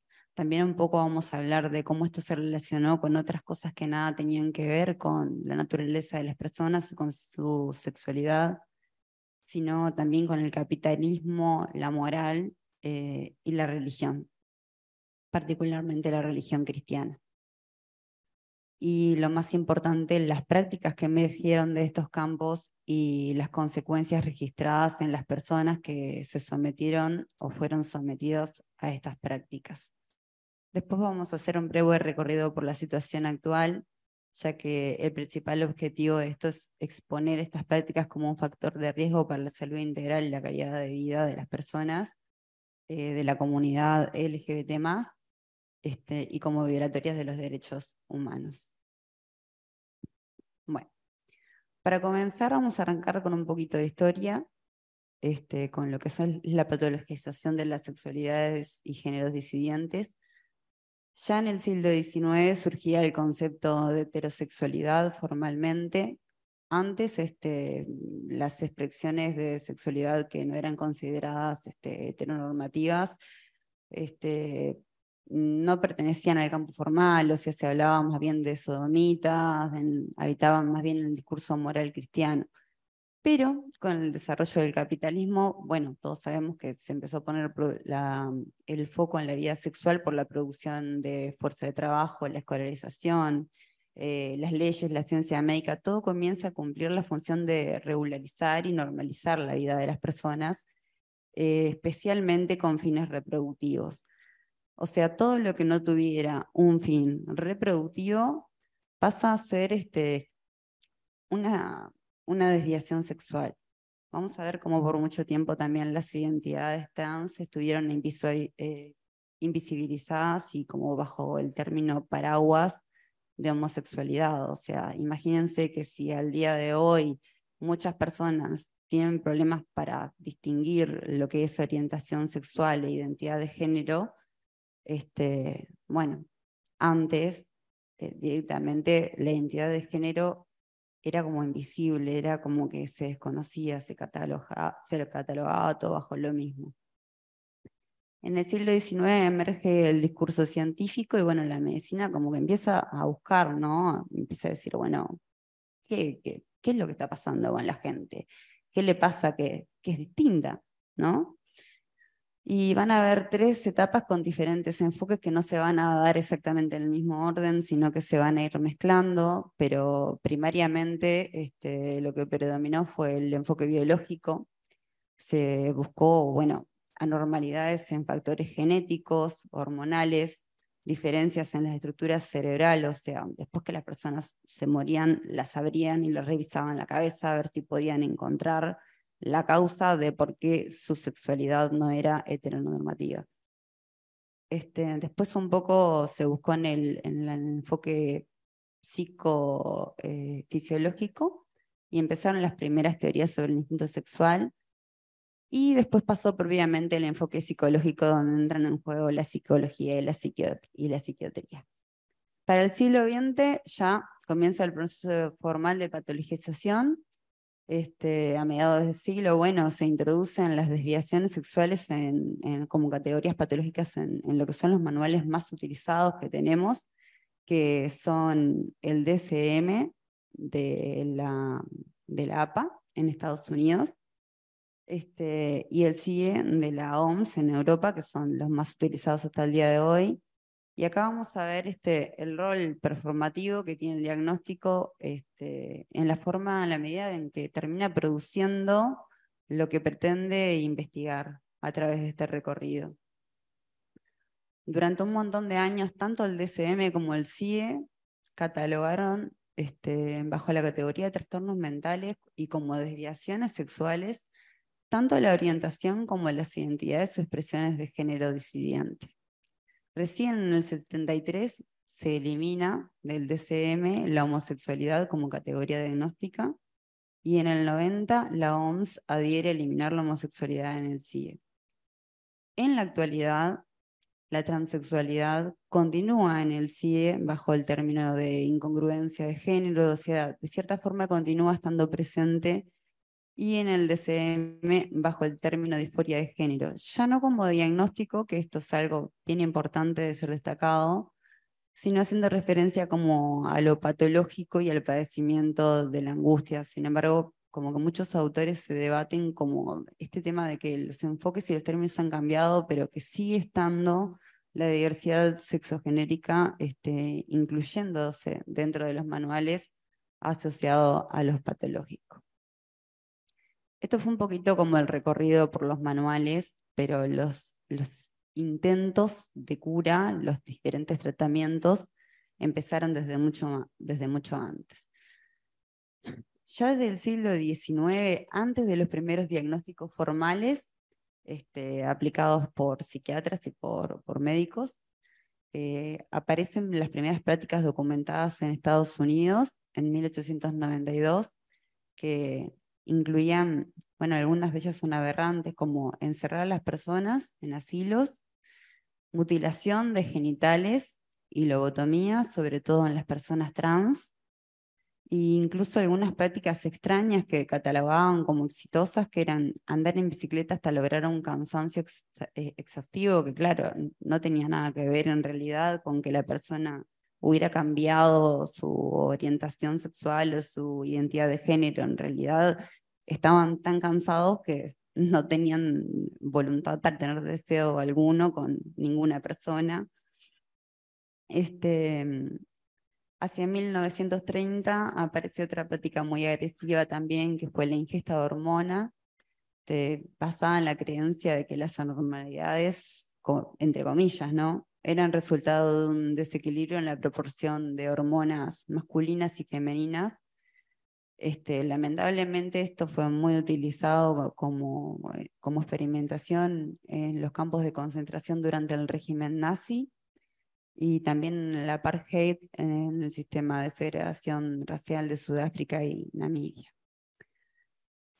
Otro tipo de prácticas que existieron y se encontraron documentadas por esta época fueron las, prácticas de aversión de tipo más bien cognitivo, eh, donde se, se, se, daba a la persona un estímulo negativo acompañado de imágenes homosexuales y el cese era acompañado de imágenes heterosexuales, o sea, con el fin de que la persona asociara este, de una manera cognitiva este, la, homosexualidad como, como algo malo y, y, bueno, y la heterosexualidad como relacionado con el placer, más bien con el cese del sufrimiento, ¿no?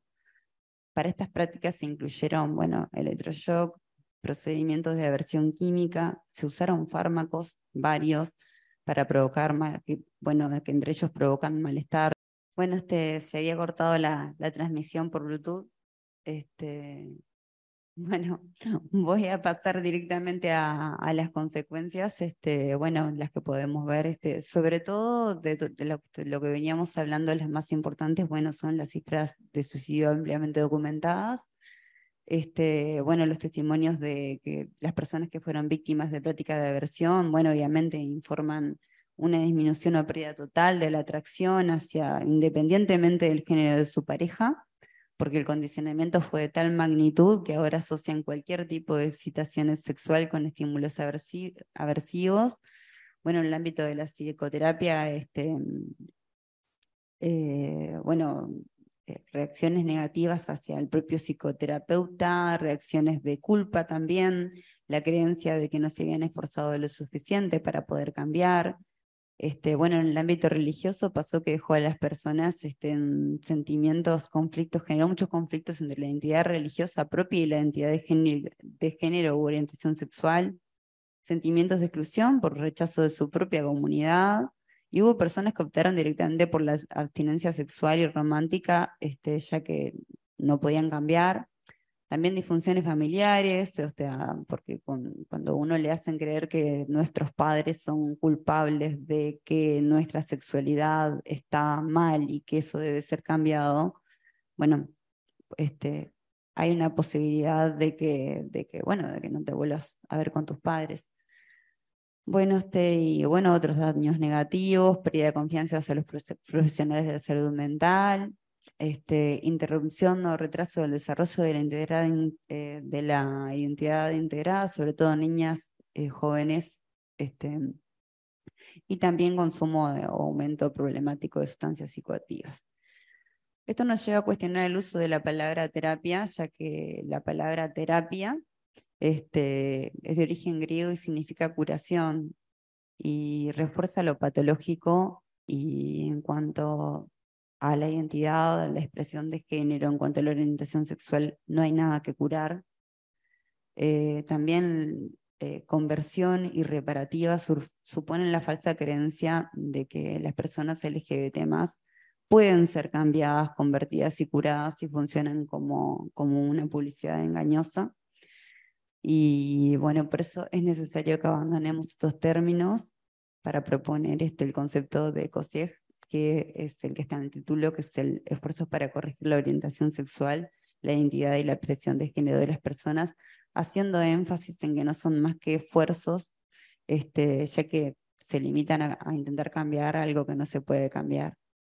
Bueno, no se cuenta con ninguna investigación o evidencia que, que, que, demuestre que se puede cambiar por ningún medio la orientación sexual, la identidad de género de una persona.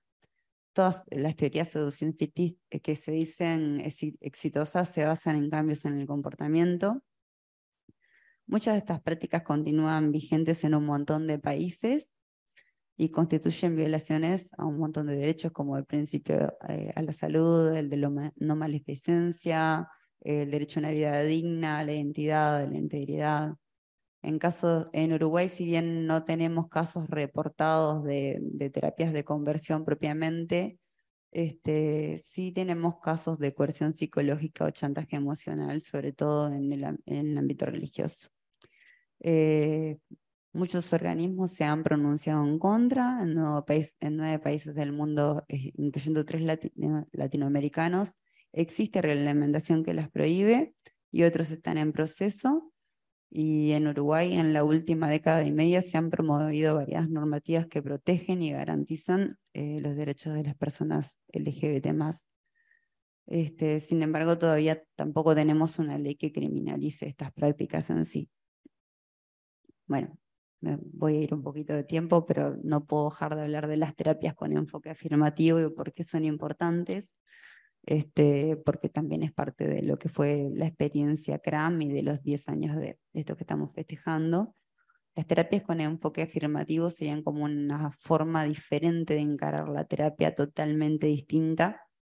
Este, no son una corriente psicológica, sino que son un enfoque terapéutico que es respetuoso de los derechos humanos, este, la homofobia es tomada como variante patológica y como recomendación para las personas que piensan este, ejercer, están ejerciendo, es importante que observemos continuamente nuestros propios valores morales para evitar cometer microagresiones de tipo homofóbico o transfóbico. Y otra cosa que está muy buena es mostrar a la persona usuaria una postura afirmativa de, la diversidad, que puede ser el uso del lenguaje inclusivo, no sé, tener una banderita, tener una alfombrita, algo que tenga, algo que le muestre a la persona que uno valida y reconoce su identidad. Lo más saludable sería que este enfoque sea empleado con todas las personas. Eh, bueno, no voy a hablar de CRAM porque ya hemos hablado de CRAM. Llegamos a las reflexiones finales eh, para hablar de que en pleno siglo XXI las personas LGBT continúan siendo víctimas de discriminación, violencia y estigmatización a nivel social, institucional y familiar. La medicina, la psicología y la psiquiatría y la sexología tienen un papel protagónico en que esto haya llegado a ser así. Este, en cuanto a la religión cristiana es un poco un desafío, porque tratar de cambiarla implica también violar la propia libertad religiosa. Sin embargo, ya están habiendo algunos movimientos dentro de la religión que, que han ido gestando pensamientos y discursos que apoyan y promueven la diversidad. Este, en cuanto a los estados, bueno, parecen estar tomando conciencia, pero todavía hay vacíos legales que no abarcan a toda la comunidad, que no contemplan todos los tipos de cosas existentes, o sabemos lo que pasa cuando se prohíbe pero no se sanciona. Por lo tanto, es sumamente relevante continuar indagando y reforzando conocimientos. Finalmente, les quiero hacer una invitación a cuestionarnos el tipo de formación que se ofrece en el campo de la salud mental y de la educación en general a cuestionar el rol de la ciencia, la religión y de la sociedad que se ha encargado de decidir por nosotros qué sería hacer a partir de los genitales con los que nacemos y que pensemos un poquito, si viendo las consecuencias que tuvo, a qué costo pasó esto.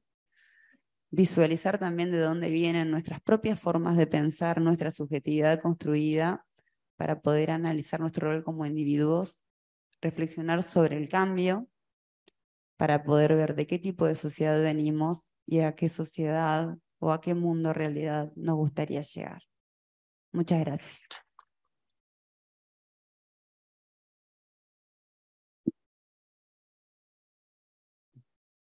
Me encanta, dice, yo me paso siempre. No, no, lo tenemos en claro, ya habíamos asumido el riesgo. Eh, y pasamos con la licenciada Cecilia Machado, quien nos va a estar hablando a propósito de un caso, transitar de género en Uruguay en una situación de discapacidad visual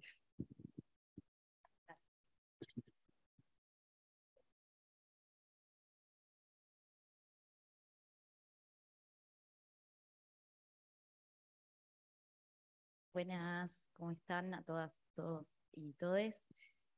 Eh, voy a hacer dos salvedades antes de arrancar. Eh, bueno, primero mi nombre es Cecilia Machado. Una es que no pude poner en el Canva los, los logos de la facultad y de CRAM.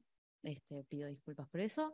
Y este, después que también el trabajo final de grado en realidad está en proceso de construcción por lo que algunas cosas este, que voy a presentar pueden sufrir algunas modificaciones en el proceso y, bueno, nada.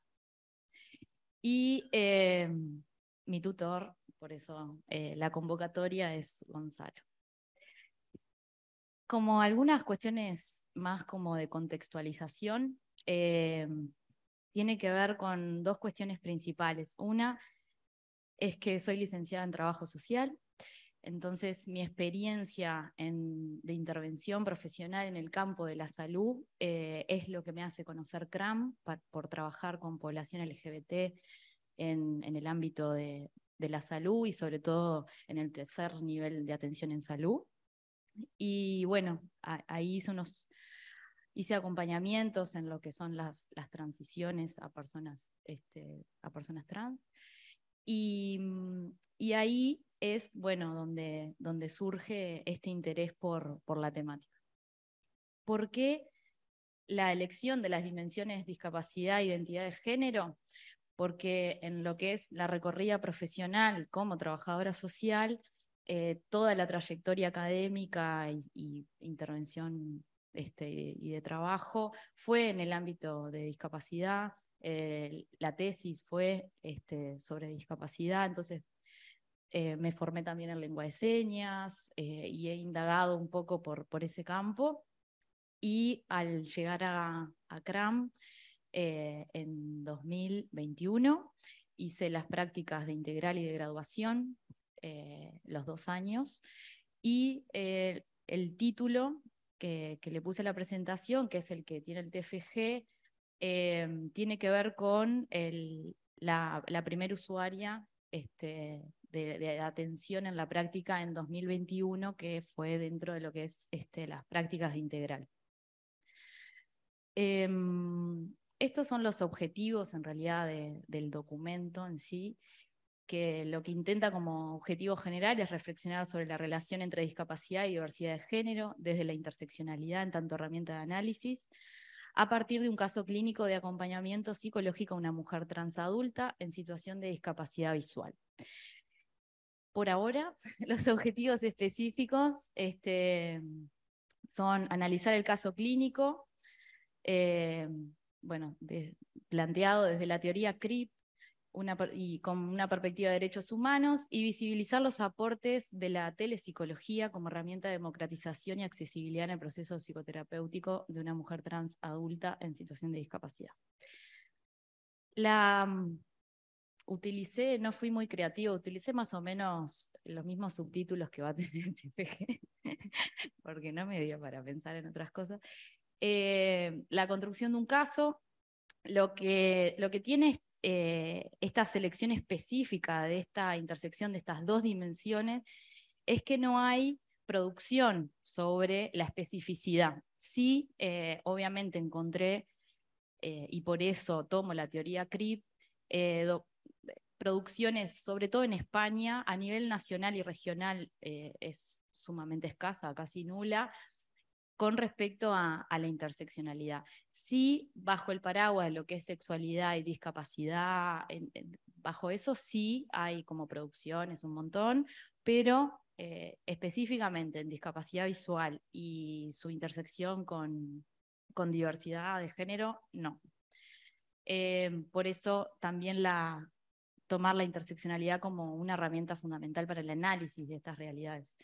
Después, eh, parte de lo, que, de lo que se plantea, que ya más o menos un poco estuvieron diciendo, es la psicología afirmativa como, como enfoque, este, lo que procura también una, una clínica abierta y amigable a la comunidad. Eh, esto lo voy a pasar por arriba, eh, pero parte de, la base teórica y conceptual que, va a tener incluida, este, va a estar incluida en el TFG, son obviamente las normativas nacionales e internacionales de los derechos para las personas en, situación de discapacidad y LGBTIQ+, y eh, estas en principio en, lo que es este, más como el marco conceptual general, está atravesado por el género, diversidad de género, identidades, realidades trans, discapacidad y teoría CRIP, pero después, obviamente, en el análisis del caso van a haber otras categorías de análisis que van a estar complementando a, la reflexión. En lo que tiene que ver con, las características generales del caso, es una mujer trans adulta joven, eh, en situación de discapacidad visual, este, con ceguera desde los cinco años, un nivel educativo alcanzado de ciclo básico y situación socioeconómica baja, este, cobra una pensión por discapacidad, vive en un contexto este, territorial y demás bastante complejo, lo que hace que la accesibilidad a la movilidad urbana, a la apropiación de la ciudad y demás sea bastante complejo, está atravesado por este, la inseguridad de su barrio y bueno, y demás. Eh, lo que tiene que ver con el proceso de acompañamiento psicoterapéutico, y le llamo así porque en realidad, como dice ahí, fueron este, cuatro meses de, acompañamiento, fue en una modalidad de dupla con una compañera, este, y la modalidad, porque fue en el 2021, fue de manera virtual por videollamada de WhatsApp, y acá lo que hago la salvedad, y por eso es parte también de lo que despierta un poco el interés por trabajar sobre esto, es este, romper las barreras de, lo que es una consulta más este, convencional, tradicional, que lo que sucedió acá es que todo el proceso de, las consultas fueron con la cámara apagada y el penúltimo día, por obviamente su situación de, de transición y demás, este, donde se sintió segura a poder prender y mostrarnos este, quién era eh, del otro lado, eh, fue en, el en la penúltima consulta recién. Pero todo el proceso se hizo con, con la cámara apagada en, un, en una situación en realidad de horizontalidad, ¿no? Este, que eso es lo, lo interesante. Eh, el motivo de consulta con el que llega es la solicitud para el acompañamiento en su proceso de transición. Eh, que bueno, que eso es lo que un poco se, trabaja y, es parte de los objetivos este, psicoterapéuticos que, que se fijaron como propósito y como objetivo, que tiene que ver con la psicoeducación también, este, lo que se identificó en el proceso, la psicoeducación en emociones, el reconocimiento de eso, eh, la cuestión de la autopercepción de su corporalidad, su conformidad con su corporalidad o no, lo que generaba eh, una limitación en, lo que era el despliegue de su proyecto de vida, porque había actividades que él se limitaba a poder hacer porque su corporalidad no era la deseada, su feminidad no era la, que, la, buscada. Entonces, bueno, eh, por eso parte de los objetivos era trabajar sobre la, esto, la percepción, su deseo identitario, el acompañamiento en el proceso de transición y su autonomía. Y esto es como importante, y acá eh, parte de lo que dijeron las compañeras también de la licenciatura de Trabajo Social, la, interdisciplina, la, interseccionalidad como, como parte fundamental del proceso, porque eh, nosotros pudimos acompañarla en su revinculación con lo que es el Instituto Cachón para que pudiera este, volver a vincularse para los, eh, lo que se llaman como los cursos de movilidad urbana, para que pudiera manejarse con, de forma autónoma por la ciudad, porque parte del conflicto era que necesitaba siempre ser acompañada al lugar donde iba. Entonces las consultas médicas estaban atravesadas por si este, tenía o no tenía un acompañante para eso. Em, y bueno, y después, eh, que fue un desafío total, fue eh, cuando sobre todo tuvimos que trabajar en la parte de las emociones, eh, adaptar las técnicas este, a lo que es una, un encuadre virtual y a una situación de discapacidad visual. Y eso fue realmente uno de los mayores aprendizajes de, de esta experiencia. Después, con respecto en sí al documento y al análisis de, lo que es el, caso, eh, tomo la teoría CRIP, eh, que, mm, que, lo que permite, la teoría CRIP toma las bases de la teoría queer para pensar en, lo que es la, mm, la reivindicación, eh, sobre todo en lo que se llama la población disca, como se denominan, Dentro de la teoría CRIP, que es la salvedad, en realidad utilizan la, definición de, diversidad funcional, que en realidad yo ahí me despego un poco y lo que trabajo es la situación de discapacidad, porque bueno, también es el marco con, y el paradigma con el que ya vengo. Este, esa es la única como salvedad, porque la teoría en realidad van a ver que habla de, diversidad funcional y bueno, tengo mis salvedades con eso, pero eh, lo, que, lo interesante de la teoría CRIP es eh, que hace un, paralelismo entre lo que es la heteronormatividad obligatoria y lo que es la capacidad obligatoria.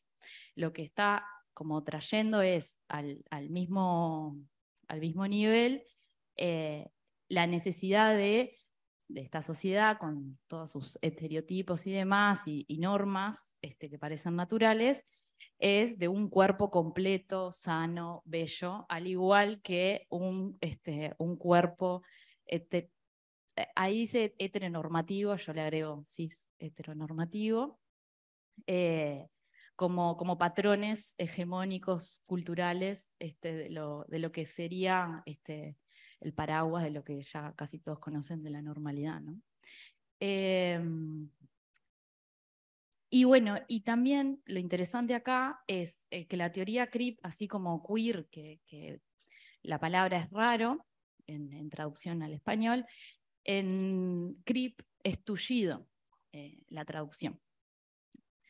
Y la, población disca, como se, denomina, como colectivo, porque tiene un, aspecto político, de reivindicación política de sus derechos, eh, se, apropia de la palabra tullido para generar como esta, esta reivindicación política, social, económica y demás. Y esto lo, lo digo con, y me detengo como en esto porque parte de lo que la teoría CRIP este, reivindica es que la población disca deje de ser este, sujeto de investigación y ser, tener un rol protagónico en, lo que cuando se estudia sobre la población, no, no, que sea como eh, enajenado del proceso académico universitario. Entonces, esto tiene eh, como su, fundamento de que yo con la persona me comuniqué para decirle que iba a escribir un TFG este, de ella, con, en base al acompañamiento y eh, la elegí como sujeta de control de mi tesis una vez que esté terminada. La idea es que ella eh, pueda leerla, decirme si hay cosas que quiere que se saquen o quieren que se queden o, llamar de otra manera, o si no es accesible el lenguaje, pensar en una adaptación de accesibilidad del lenguaje para que se sienta parte del proceso y no este, sujeto de investigación. Eh, eso me parece lo más importante. Y después, este, como tiene que ver con los objetivos específicos, la psicología afirmativa ya la nombramos, eh, es con respecto a la telepsicología. Em, en este caso, lo que hizo pensar con respecto a, a las fortalezas y la utilidad que tiene la psicología en algunas situaciones, ¿no? obviamente hay que pensar en, bueno, en qué modelo se ajusta cada caso y demás, pero en este caso fue fundamental porque era una persona que tenía muchas dificultades de movilidad, este, quizás, quizás este, por, por, el carné y demás podía sí este, tener acceso al boleto, que hay población que no ni siquiera puede acceder al boleto. Entonces, parte de eh, las fortalezas es que eh, puede ser accesible para personas que estén en una situación de, extrema vulnerabilidad socioeconómica. Este, porque en lo que son los estudios de las, de las TICs, eh, tecnologías de la comunicación y la información, Uruguay está posicionado como uno de los países que tiene mayor este, alcance de, Internet, ¿no? O sea, estamos ubicados como, como un país bastante pionero en, la accesibilidad universal del Internet. Sí, obviamente eh, hay realidades donde no se tiene el aparato, ¿no? el celular o lo que se pueda acceder con, pero eh, bueno. Y en este caso se pudo desarrollar porque la persona tenía, eh, vivía en un terreno familiar y tenía una pieza independiente, porque bueno, eso es, parte de los factores que hay que evaluar este, cuando, cuando se emprende una, una atención virtual, de si se va a tener el espacio privado para eso, si va a haber interrupciones, si la persona se siente cómoda, segura este, con, con todo eso, y mm, que son bueno, los factores que pueden incidir en lo que tiene que ver con, con la telepsicología, a veces son este, barreras que puede tener eh, el propio psicoterapeuta con respecto a la herramienta y no en sí la herramienta. O sea, hay estudios que comprueban que este, la, transferencia existe, que este, la, alianza terapéutica existe, la alianza de trabajo, bueno, las cuestiones que, atraviesan que se pueda dar esa alianza existen. Em, y bueno, eh, lo que permitió en este caso fue que una persona en en esta intersección de realidades pudiera acceder, y eso es gracias a la universidad, a CRAM, que lo permite, eh, y bueno, y a, la realidad contextual ¿no? de Uruguay, que también hace que, que podamos acceder eh, universalmente a, a, Internet. ¿no? Y creo que por ahí, sí.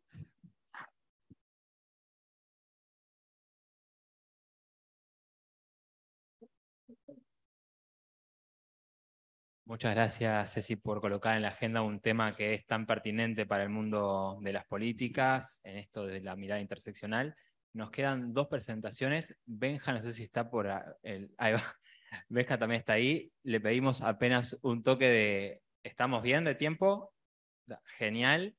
Y eh, para poder continuar, vamos con Lourdes Riero, licenciada también en psicología, en trabajo social, y que va a presentarnos Transodio y Ciberviolencia, Sufrimiento Psicosocial en tiempos de COVID-19.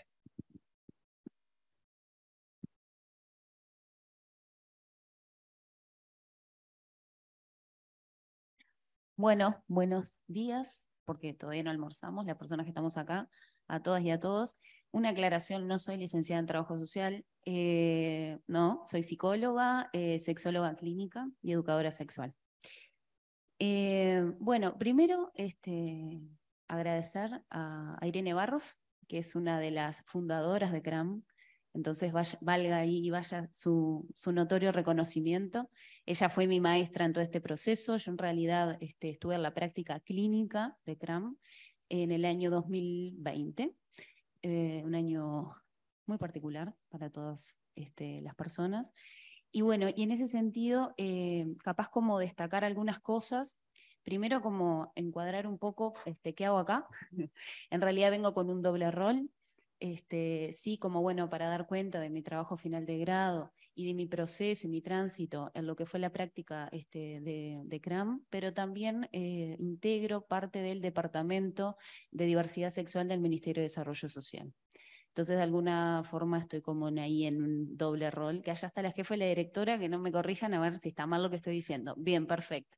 Eh, eh, em, bueno, y voy a hablar un poquito también como de, mi trayectoria, más allá del trabajo, que me parece como bien interesante, este, sobre todo poder visualizar y poner sobre la mesa como las posibilidades también que, que me habilitaron, como que se habilitaron y que surgieron a partir de mi trayectoria en lo que fue el proceso de CRAM. Eh, yo en realidad ya hacía varios años que venía estudiando todo lo que refiere a sexualidad, sexualidades, género, violencia. Eh, hice algunas diplomaturas porque también estudié sociología, no me recibí, pero estudié sociología. Entonces, de alguna manera, mi recorrido ya venía como sumergido, por decirlo de alguna manera, en lo que es la temática de la sexualidad en general. De esa forma es que después eh, ingreso, ya hace 10 años que formo parte del Ministerio de Desarrollo Social y hace muy pocos meses integro este, el departamento y tengo a cinco mujeres maravillosas eh, como compañeras de las cuales aprendo muchísimo todos los días y están siendo también ahí como mis guías en lo que es la incorporación del, departamento. Em, en ese sentido es que, bueno, en este tránsito, cuando voy a elegir la práctica, que podemos elegir varias, o sea, tenemos que hacer en realidad ahí como el punteo, les voy a ser honesta, yo pensé que no iba a quedar en la práctica y cuando me enteré fue un motivo de festejo a nivel familiar. Em, y bueno, y ahí empezó como mi, eh, mi recorrido en CRAM. La realidad es que me encontré con un espacio este, sumamente rico desde todo punto de vista, sin lugar a dudas profesional y académico, pero también a nivel humano me llevó amigos hasta el día de hoy, amigos y amigas, eh, compañeras a los que, y ahora colegas con los que a veces hasta covisionamos. Este, entonces, la verdad que la riqueza y la fortaleza del espacio es, es, es maravillosa. Ay, yo te conozco. es verdad. eh, Luego de, poder, este, hacer este trabajo, en realidad tuve la oportunidad y también el privilegio de, este, de, presentar este trabajo en Buenos Aires. Lo presenté en el Congreso, en el segundo Congreso Internacional de Psicología, que hace muy, se, hizo muy poco acá. Y este, lo pude publicar a través de un, hice una reformulación para artículo científico y pude como publicar la, tengo un nombre anotado, no me acuerdo, Asociación Argentina de Salud Mental. Em, así que, este, nada, a, eh, invitarles, invitarlas y animarlas y animarlos a que formen parte de CRAM, porque en realidad este, mi experiencia personal fue maravillosa, me abrió un montón de puertas este, y el aprendizaje es infinito. Y ahora sí, yendo, termino los agradecimientos y todo el, ¿no? Eh, yendo un poco como al trabajo, en realidad, em, bueno, el año 2020 fue un año, como les decía, bien particular el momento que nosotros, el proceso de formación fue a través de la virtualidad, con todo lo que ello significa y todos los desafíos que significa, ¿no? Eh, no solamente es desde mm, desafíos, también oportunidades, ¿no? La virtualidad implica una herramienta, este, la virtualidad no, las tecnologías, digamos, yo hablo de las TICs eh, como CECI, que ahora no sé dónde está, como CECI, de las eh, tecnologías de la información y de la comunicación, como una oportunidad también para que este, el, dispositivo de alguna forma no se interrumpa, digamos, fue todo un desafío que CRAM continúe funcionando en eh, plena pandemia, ¿no? Este, y donde también significó la reformulación permanente y un pienso permanente, un movimiento permanente de cómo hacer, desde qué lugar, el tema de la confidencialidad de los datos, ¿no? Cómo registrábamos, desde qué, em, cuáles eran también los espacios de encuentro entre nosotros y nosotras, que en realidad, de hecho, a Irene, que fue mi docente y después mi tutora, pero y a mis compañeros y compañeras los conocí mucho tiempo después eh, físicamente, ¿no? Y fue como muy loco también esto del encontrarnos, ¿no? Vernos los cuerpos, este, poder abrazarnos fue, fue como muy simbólico. Em, me voy mucho por las ramas, Gonzalo, me mires yo prometo que voy a redondear. Em, el trabajo que hice en realidad em, es en torno como a lo que es el transodio y la ciberviolencia como generadores de sufrimiento psicosocial en contexto de pandemia por COVID-19. En realidad, si se busca el trabajo a nivel Internet, como están los trabajos que, quedan todos publicados, eh, hay una salvedad en las concepciones, porque en realidad conceptualizaciones, porque eh, aparece como em, ciberacoso y aparece como transfobia. Una de las cosas que yo hago justamente en ese trabajo es un trabajo que eh, tiene un carácter de, em, es un ensayo académico, este, intencionalmente, o sea, yo quería este, poder hacer una producción desde un lugar de crítica y de reflexión y obviamente también como de abordaje teórico y este, desde donde también en realidad se generaran quizás más preguntas que respuestas. Esa fue como mi intencionalidad y también una elección política y ética, ¿no? Por supuesto. Eh, en ese sentido es que ahí tomo eh, cuatro, o sea, hay cuatro puntos que son los que voy a abordar en realidad en este trabajo eh, y que son, el primero hago un recorrido de lo que son las subjetividades y las intersubjetividades trans, Este, tomo como varios, varios, varios autores de, mm, de, a nivel nacional. También quiero mencionar algo que me parece bien importante en esto de que hoy mencionaba Ceci, de poder este, hablar esto de, y pensar lo que son nuestras intervenciones desde una perspectiva de derechos humanos, desde una perspectiva positiva, ¿no? En esto de, afirmativa, perdón, en esto de realmente de eh, considerar a la otra persona como sujeta, sujeto de derechos, ¿ok? Y no como objeto de estudio ni este, objeto de ninguna clase de intervención. Em, y, la realidad es que ahí, en ese sentido, es que en el tránsito, digamos, y en el proceso de lo que se dio la práctica, nos encontramos con un montón de situaciones que claramente fueron situaciones bien distintas a las que quizás yo, por ejemplo, me imaginaba como estudiante de psicología y que iba como este, a atravesar y que iba a acompañar a determinadas situaciones dentro del marco de CRAM. Porque en realidad el dispositivo en realidad fue a través de la telepsicología, como ya han mencionado las compañeras, y el dispositivo en realidad se fue reformulando de forma permanente. Eso es algo como bien interesante también, ¿no? En esto de no rigidizarnos con lo que son las formas a las que nosotros como, como psicólogos y también como de una responsabilidad, por supuesto, también ética, de, de poder este, acompasar los procesos de las personas y acompañar, pero realmente es de un lugar de que se tenga en cuenta este, a quien esté del otro lado de la pantalla, en este caso fue a través de la pantalla. Em, en el caso, en, mi caso, en realidad yo trabajé con una compañera que éramos dupla y eh, los acompañamientos se dieron sobre todo por videollamada. La mayoría fueron por videollamada, muy pocos fueron por teléfono, este, en algunas instancias puntuales, pero bueno, esto que hablaban las compañeras, no voy a ser repetitiva, pero en realidad en esto de poder también considerar los que son las condiciones, ¿no? El momento de generar como el encuadre, el acuerdo, que haya un lugar cuidado, seguro, en donde la persona realmente pueda, este, bueno, desplegar este, o poder mencionar lo que quiera mencionar, compartir y poder expresar, ¿no? Em, y que bueno, que en ese sentido también la virtualidad genera un montón de desafíos, ¿no? Porque quizás hay determinadas personas que les facilita mucho más, pero también existen las personas que no, que de hecho generan todo lo contrario. Em, pero bueno, sin, profundizar porque se me va, porque este tema da para largo, pero en realidad esto, yo lo que hago en el ensayo es tomar cuatro puntos específicos, tiene cuatro capítulos, en el primer capítulo hago un recorrido de lo que son las características sociales, culturales y económicas de la población trans específicamente en Uruguay y cómo en realidad se profundizaron este, la situación de vulnerabilidad y de las distintas expresiones de violencia que caracterizan muchas veces, desgraciadamente, este, los tránsitos vitales. ¿Ah? Em, después, en, un una segunda instancia, en un segundo capítulo, lo que hago justamente hablar del movimiento, del movimiento entre la transfobia y el trasodio, ahí lo que hago es una crítica este, teórica de la utilización de la palabra fobia, Y de hecho, o sea, hablo ahí de tres movimientos. No voy a entrar en la, en la hiperexplicación teórica porque no les quiero aburrir con este día de más. No les quiero aburrir, pero bueno, les invito a que si quieren, por supuesto, lo pueden leer, está disponible, ¿no? El trabajo.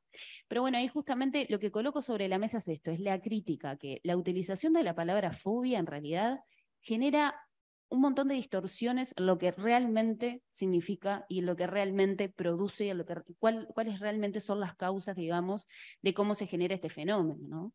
A ver, si nosotros hablamos de transodio eh, y si hablamos de ciberviolencia, que son como los dos ejes temáticos fundamentales de mi trabajo, por supuesto que estos dos fenómenos no nacen a, a partir de la pandemia. No. Pero ¿qué pasa? En la pandemia se recrudecen. En la pandemia, a través de las nuevas formas Este, y en esto, tomando la virtualidad, bueno, se nos prendió fuego la facultad. Ah, bueno, perfecto, bien. a, través de, a través de lo que es, eh, ¿se, ¿se complicó? Bueno, se enojan. Eh, no voy a decir más entonces transfobia. Muy bien. Em, a través de lo que es la virtualidad justamente y la utilización de las herramientas tecnológicas, ¿Qué pasa? Ahí en realidad se da un terreno fértil, se genera un terreno fértil justamente para que la reproducción en realidad sea mucho más profunda y también para que existan nuevas modalidades. Esto del anonimato, esto de que nosotros nos posicionamos, estamos eh, utilizando una pantalla y pensamos que en realidad del otro lado no se dimensiona hacia otra persona, sino quién está, ¿no? El anonimato y además la dimensionalidad y el impacto que genera hasta un comentario que se pueda hacer, no sé, en cualquier red social, por ejemplo, ¿no? Después otra de las cosas que circulaban mucho también eran en, las narrativas de los consultantes de, durante, ese año, eran em, las distintas situaciones de violencia, lo que era la, educación, sobre todo con la docencia. Este, el no respetar los nombres, el em, o, mm, no respetar los nombres, obligarlos a prender la cámara en determinadas situaciones, como no. Había como muchas manifestaciones que en realidad se quedaba como de alguna manera este, colocado el tema de la virtualidad y la expresión de violencia, las múltiples expresiones de violencia. Es así que bueno, que entre el, mi tránsito este, más de lectura y de, de, covisionar con los compañeros y como los intercambios, por supuesto, también con Irene, es que empezamos a identificar que eh, justamente estos eran unos temas que había que abordar, digamos, ¿no? Es que, estaban ahí de forma permanente. Y es que ahí nosotros entendimos como un gran desafío poder pensar, y, ahí surge como la elección del tema para mi TFG, es poder pensar en cómo las manifestaciones de violencia, las expresiones de violencias, todas, llámense, ¿no? Se traducen y en realidad se reproducen y se reafirman a través de los dispositivos virtuales, a través de las tecnologías, ¿no? Es decir, como de alguna forma, como ciertos escenarios offline, es decir, fuera de línea, lo que, como estamos ahora, bueno, no tanto porque estamos las dos cosas, em, también se traducen y bajo qué modalidades, cuál es el impacto, cuáles son los distintos, eh, de qué manera afecta a las personas. ¿no? Si hay modificaciones, si no hay modificaciones, cómo surge, cuáles son estas nuevas formas medio que por ahí ese fue como también este, el proceso como de indagación y más de, bueno, de curiosidad propia en poder trabajar este tema. Em, después, el tercer capítulo en realidad aborda justo este tema que estaba mencionando eh, y en realidad em, lo que hablo básicamente y lo que abordo es eh, sobre el transodio a través de las pantallas. Esto que les venía diciendo. Eh, cómo se manifiesta, qué términos utilizamos, los emoticones, los emojis, las imágenes, ¿no? Toda esta comunicación este, distinta. Y eso que no se está metiendo. Pero en realidad, toda esta comunicación distinta y nueva, que fue la herramienta que nosotros tuvimos este, para comunicarnos. Pero no solamente lo vio en el marco de, de CRAM, era la herramienta que teníamos para comunicarnos con nuestros seres queridos, con las personas que quisiéramos, ¿no? Era lo que se podía en condiciones de confinamiento y en condiciones de aislamiento y en condiciones de mucho movimiento, muchísimos este, em, factores también como estresores, un bombardeo permanente de información este, que también condicionaba y generaba como muchísimo, mucho padecimiento psíquico. Si lo vamos a, a resumir de alguna forma es así. Y el último capítulo este, para no aburrirlos, ya este, estoy con la hora. Em, bueno, ahí justamente hablo de transodio y la violencia digital, porque una de las cosas que hablo también es de que, bueno, ahí existe poder definir lo que es el ciberacoso, que fue como con la primera palabra que yo empecé el trabajo, bueno, ahí hice como un recorrido este, a nivel internacional, eh, regional, pero también internacional, de varios este, estudios que hay sobre lo que es la utilización de las tecnologías y las, em, las, expresiones de violencia mediados por las tecnologías con perspectiva de género ¿ah? este, y con perspectiva diversa, pero son las que hay menos, por supuesto. ¿no? Hay muy poco. Desgraciadamente hay muy poco a nivel de producción. A nivel nacional estamos más que en pañales. Este, y bueno, entonces eh, mi interés básicamente era también poder aportar este, a un tema que, del cual no se habla mucho. También hice un recorrido a nivel de lo que es a nivel de la política pública, de eh, si existía, y estuve como mirando los datos eh, de algunas publicaciones de la Interpol, de lo que es el Ministerio del Interior, sobre los delitos informáticos, ¿no? sobre qué tanto en realidad esto tiene un respaldo formal, institucional, qué respuesta se da a nivel estatal de esta clase de situaciones si se dan, si no, o si en realidad este, a nivel de política pública lo que se hace justamente es como este, eh, invisibilizar aún más. Eh, y bueno, y es una de las conclusiones a las que llego, ¿no? que a nivel de política pública sobre lo que es el control de este, control o como se le quiera llamar, este, de esta clase de situaciones, no hay nada. Entonces, en el último capítulo este, profundizo un poco sobre esto y ahí hablo y le llamo a este capítulo también la clínica en movimiento. Justamente por esto que les decía, ¿no? del movimiento permanente que significó el pensar y repensar de forma permanente cuáles iban a ser las formas, de qué manera nosotros también esto, la lo que decían los compañeros anteriormente, ¿no? esto de la lectura permanente, del poder, este, además de poder ser seres humanos y también nosotros atravesar la pandemia porque nosotros somos profesionales, pero también somos personas. Entonces, este, que eso claramente condiciona de alguna manera, ¿no? Entonces, qué importante también tener nuestros espacios terapéuticos, qué importante tener espacios de cuidados. Em, así que bueno, medio que por ahí eh, fue mi presentación sobre el trabajo, pero para irme y para cerrar les voy a dejar, les voy a leer dos citas que de alguna manera para mí fueron muy simbólicas y se las voy a leer y con eso cierro. ¿está? Antes que me digas algo. Ok. Bien. La porque soy de. Voy con la primera cita. ¿Qué es el cuerpo travesti, transexual y transgénero? La existencia de un contorno, las formas estandarizadas de una silueta, o nos plantea, aún sin proponérselo, la reformulación de las fronteras de la corporalidad. ¿Quién y qué determina la perimetralidad del cuerpo. Es la genitalidad, es la falometría, es el biologicismo, la reproductividad, la reproducción, el deseo, es la farmacología, es la tecnobiología, todo lo que aparte se viene como recorriendo, ¿no? La armonización, los protocolos médicos, la teoría o la praxis. Esa es la primera cita, que es de un trabajo precioso de Berkins, de Luana Berkins, este, que es maravilloso, se los recomiendo. Y voy con la segunda.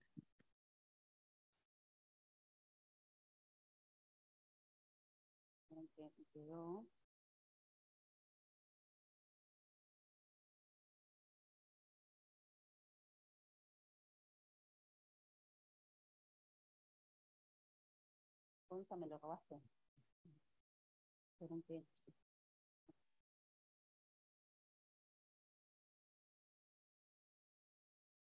Bien, acá está, que esta es maravillosa, que es de un trabajo eh, de Díaz Garzantini y Martínez del año 2020 justamente. Eso fue otra de las cosas que tomé como referencia bibliográfica, que fueron justamente, surgieron muchos, en lo que es en el contexto de pandemia, surgió mucha producción en realidad, ¿no? De distintas cosas y a nivel este, interdisciplinario, y eso lo tomé como de referencia como situación. A la medida, era como que eso también fue todo un desafío, porque a la medida que íbamos este, transitando el proceso de práctica, también surgían como nuevas este, referencias teóricas. Entonces era, bueno, ¿de qué lugar lo incorporamos? Como no, que es esto también como de la formación permanente que es fundamental. Y con esto cierro. El coronavirus se plantea como una nueva forma de control sobre los cuerpos, tapándonos la boca y prohibiendo abrazos. Nos propone vincularnos desde la digitalidad como única opción habilitada. La pandemia también conlleva el recrudecimiento de las operaciones excluyentes que definen adentro y afuera a la comunidad política. Contemporáneamente, somos las disidencias quienes habitamos los márgenes de la norma, cis heterosexual. Somos, si se quiere, los agentes patógenes del sistema sexo-género-deseo. En este sentido, es de esperarse un impacto diferencial. Muchas gracias.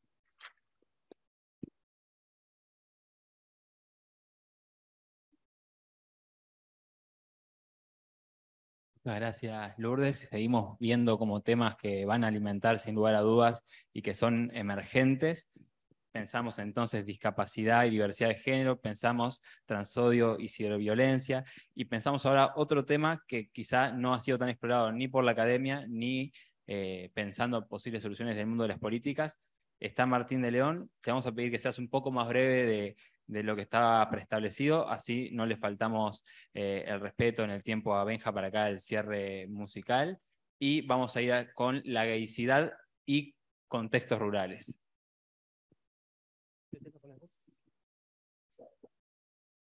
Bueno, buenos días o buenas tardes ya. Mi nombre es Martín de León, soy eh, ex practicante del CRAM también y bueno, agradecer la invitación a ONSA. que como decía, les voy a estar presentando este tema que es gaycidad y ruralidad, em, que es en realidad eh, un pantallazo de lo que es mi trabajo final de grado, que está en, todavía en proceso, ya está entregado, eh, que se llama una posible revisión bibliográfica sobre la cuestión gay en contextos rurales. eh, y bueno, mi tutor es, es Gonzalo Gelpi. Eh, la modalidad de este trabajo es un artículo científico de revisión bibliográfica que entra en el paraguas de lo que es las producciones teóricas de, de los trabajos finales de grado de la facultad, y el objetivo es exponer y analizar los conocimientos más actuales y relevantes sobre la intersección entre gaycidad y ruralidad, con énfasis en las implicancias que estas dos categorías tienen para la salud mental. Em, Bueno, en cuanto a la, pertinencia y la relevancia de este tema, eh, se cree que eh, merece atención porque la mayor parte de los estudios gays están focalizados en entornos urbanos o no tienen en cuenta la localización de las personas como determinante de la vida. Y bueno, esto produce una invisibilización de las, de las experiencias en entornos rurales de las personas LGBT y de los hombres gays en particular. Y eso hace que haya menos conciencia sobre las, des- las desigualdades que complejizan la vida y la vida cotidiana y la salud de estas personas a tener en cuenta para lo que se va a desarrollar, a continuación es que las experiencias eh, de los hombres gays en la rurali- ruralidad son diferentes a las de las personas que viven en ciudades, eh, debido a las distintas costumbres que hay y concepciones sobre la diversidad sexual que prevalecen en, en contextos rurales. Bueno, en cuanto a la metodología de este trabajo, eh, como dije, es un artículo de revisión bibliográfica, se hizo una búsqueda en plataformas online, en repositorios, eh, de trabajos científicos. eh, ahí están Google Académico, Cielo, Redalic y EBSCO. Y también se utilizó la técnica de la bola de nieve, que básicamente fue buscar o relevar trabajos que no salieron en la búsqueda inicial en las referencias bibliográficas de los trabajos que sí se encontraron, y bueno, las sugerencias del tutor, por supuesto. Eh, las palabras eh, clave que se buscaron eh, fueron rural, ruralidad, gay, homosexual, bisexual, HSH, LGBT, LGTB y salud mental. Y bueno, se tomaron en cuenta trabajos que están en español, inglés y portugués. El intervalo de búsqueda es del 2018 al 2023, eh, todo muy reciente. Bueno, eh, inicialmente con esas palabras, esos parámetros, se encontraron 383 trabajos que luego de una lectura de los títulos, resúmenes y conclusiones se llegó a 73 trabajos y después de una lectura en profundidad quedó el, número final de trabajos tenidos en cuenta que es de 34. Bueno, acá estas tablas presentan eh, las publicaciones por el país de origen, por idioma, por metodología y por disciplinas y campos de estudio. Hay una predominancia de Estados Unidos, con 12 trabajos de los 34, bueno, Australia y Brasil. El idioma que predomina es el inglés, con 25 de los 34 trabajos. Eh, metodologías, bueno, más cualitativa que cuantitativa. Y los campos y disciplinas de estudio, eh, predomina la psicología, la salud mental y la, edu- y la salud mental y la educación. Todos los hallazgos y los resultados eh, que surgen, que emergen, digamos, de todos estos trabajos se concentraron en cinco apartados temáticos, que son los que están ahí, ruralidad y gaycidad. El segundo es pensamientos y actitudes hacia la diversidad sexual en contextos rurales. El tercero es ruralidad, gaycidad y sus efectos en la salud mental. El cuarto apartado es implicancias del contexto rural en otras áreas de la vida de los hombres gays. Y el cinco es identidades gays y visibilidad en la ruralidad. Bueno, este primer apartado lo que hace en realidad es eh, definir las dos categorías principales que se manejan en el, trabajo, en, la revisión. Y bueno, en cuanto a la ruralidad, se encontró esta visión dicotómica que ha predominado eh, en los estudios sobre la ruralidad, que es una visión eh, que está siendo dejada de lado poco a poco porque no refleja, la diversidad de situaciones sociales que se dan en los entornos rurales. Eh, Viene siendo sustituida por un enfoque de una nueva ruralidad que mm, lo que plantea es ver lo rural desde lo rural y también plantea una mayor integración entre lo rural y lo urbano como un continuum de situaciones eh, que se da por los avances que, que hay en, en las TICs, en los medios de transporte. Y bueno, eso hace que haya unos límites difusos hoy en día entre lo que es rural y urbano. No, no es tan claro. También en este capítulo se plantea una discusión sobre la definición de la población rural en Uruguay, que no hay unanimidad eh, dentro de las distintas clasificaciones que se manejaron. Ahí, como ven, van del 4,5% de la población total del país al 17,8% en las definiciones más laxas de lo que es la ruralidad. Incluso en el INE, eh, que se supone que debería tener esto más claro, no hay tampoco una definición clara de lo que es lo rural. Muchas veces lo rural, por ejemplo, en la encuesta continua de hogares, queda definido por defecto, por lo que no es lo urbano, digamos. O sea que a ese nivel está lo rural eh, dejado de lado. Y bueno, lo que importa acá es que lo rural es un escenario social que determina la producción de la subjetividad y esto es eh, particularmente importante tenerlo en cuenta en la producción de subjetividad de, las personas gays. Bueno, en cuanto a la, a gaycidad, acá ya María José hizo una, evolución, una, una exposición de la evolución histórica, pero básicamente lo que yo hago en este capítulo es eh, hablar de, dos etapas. Eh, una es la etapa de la homosexualidad, que inicia en el siglo XIX, cuando se empieza a usar esta categoría eh, para señalar lo que es anormal y patológico en contraposición a la heterosexualidad, que es lo normal. Y bueno, una segunda etapa que comienza más o menos a mediados del siglo XX, que es la de la gaycidad que se caracteriza por cierto grado de visibilidad y de reconocimiento social de, las personas gays. Ambas etapas están marcadas por la estigmatización y la, marginalización sistemática y la exposición a violencias, a exclusión social y a discriminación legal. En un segundo capítulo, em, trabajo sobre los pensamientos y las actitudes de la, hacia la diversidad sexual en contextos rurales. Y bueno, acá varios de los estudios hablan de que la población rural tiene más prejuicios sobre la comunidad LGBT en comparación con la población de las ciudades, y que esto se debe eh, a una cultura que es más conservadora o tradicional que en las ciudades, eh, en algunos casos por influencia religiosa, eh, en otra por, por los, las personas que gobiernan en esas comunidades por un montón de factores.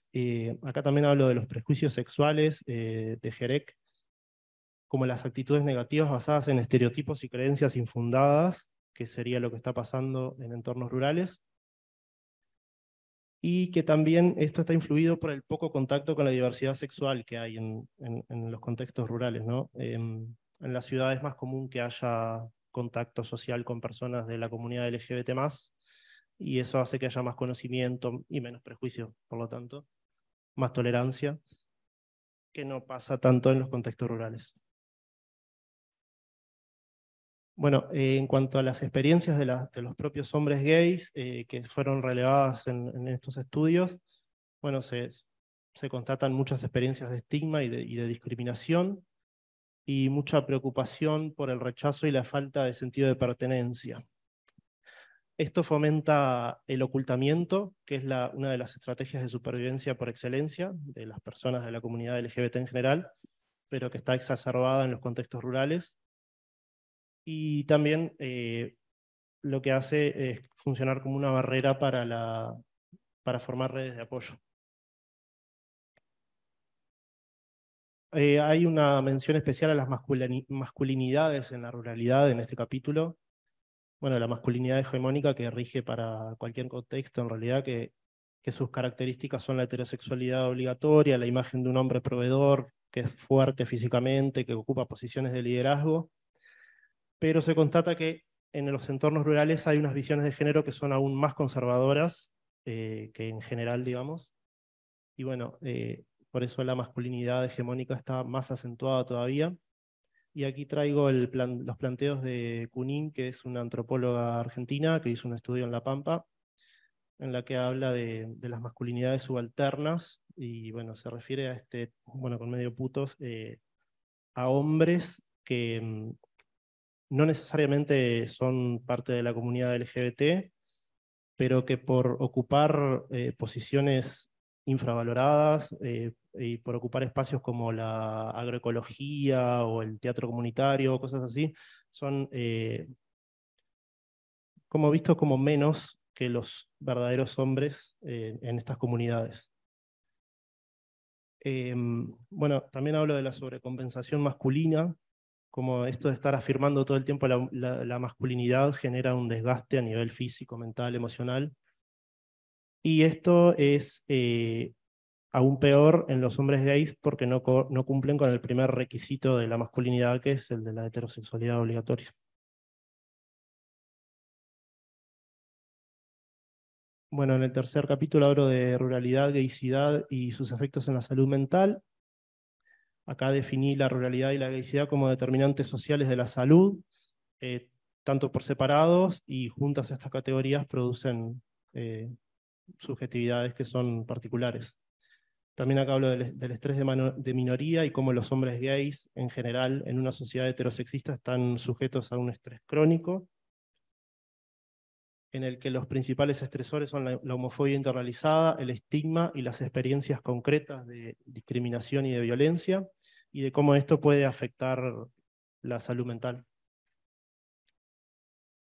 Em, bueno, estos, los estudios analizados también llegan a estas conclusiones, acá es uno en particular, pero Dice que los hombres gays en contextos rurales tienen mayor probabilidad de padecer estrés, baja autoestima, depresión, ansiedad, mayor uso de drogas y exposición a mayores niveles de acoso verbal y físico comparados con sus contrapartes en contextos urbanos. Eh, bueno, en un estudio realizado en Australia también se, encontró un mayor nivel de estrés de minoría y menor apoyo social, comunitario y familiar hacia los hombres gays en contextos rurales. Eh, hay niveles más altos de homofobia internalizada y mayor presión social para cumplir con los estereotipos de género tradicionales. Y la principal sintomatología informada por los participantes de este estudio de, Whitehead, que es en Estados Unidos, eh, se asocian con la depresión, en nada más y nada menos que en el 50% de los hombres gays en contextos rurales.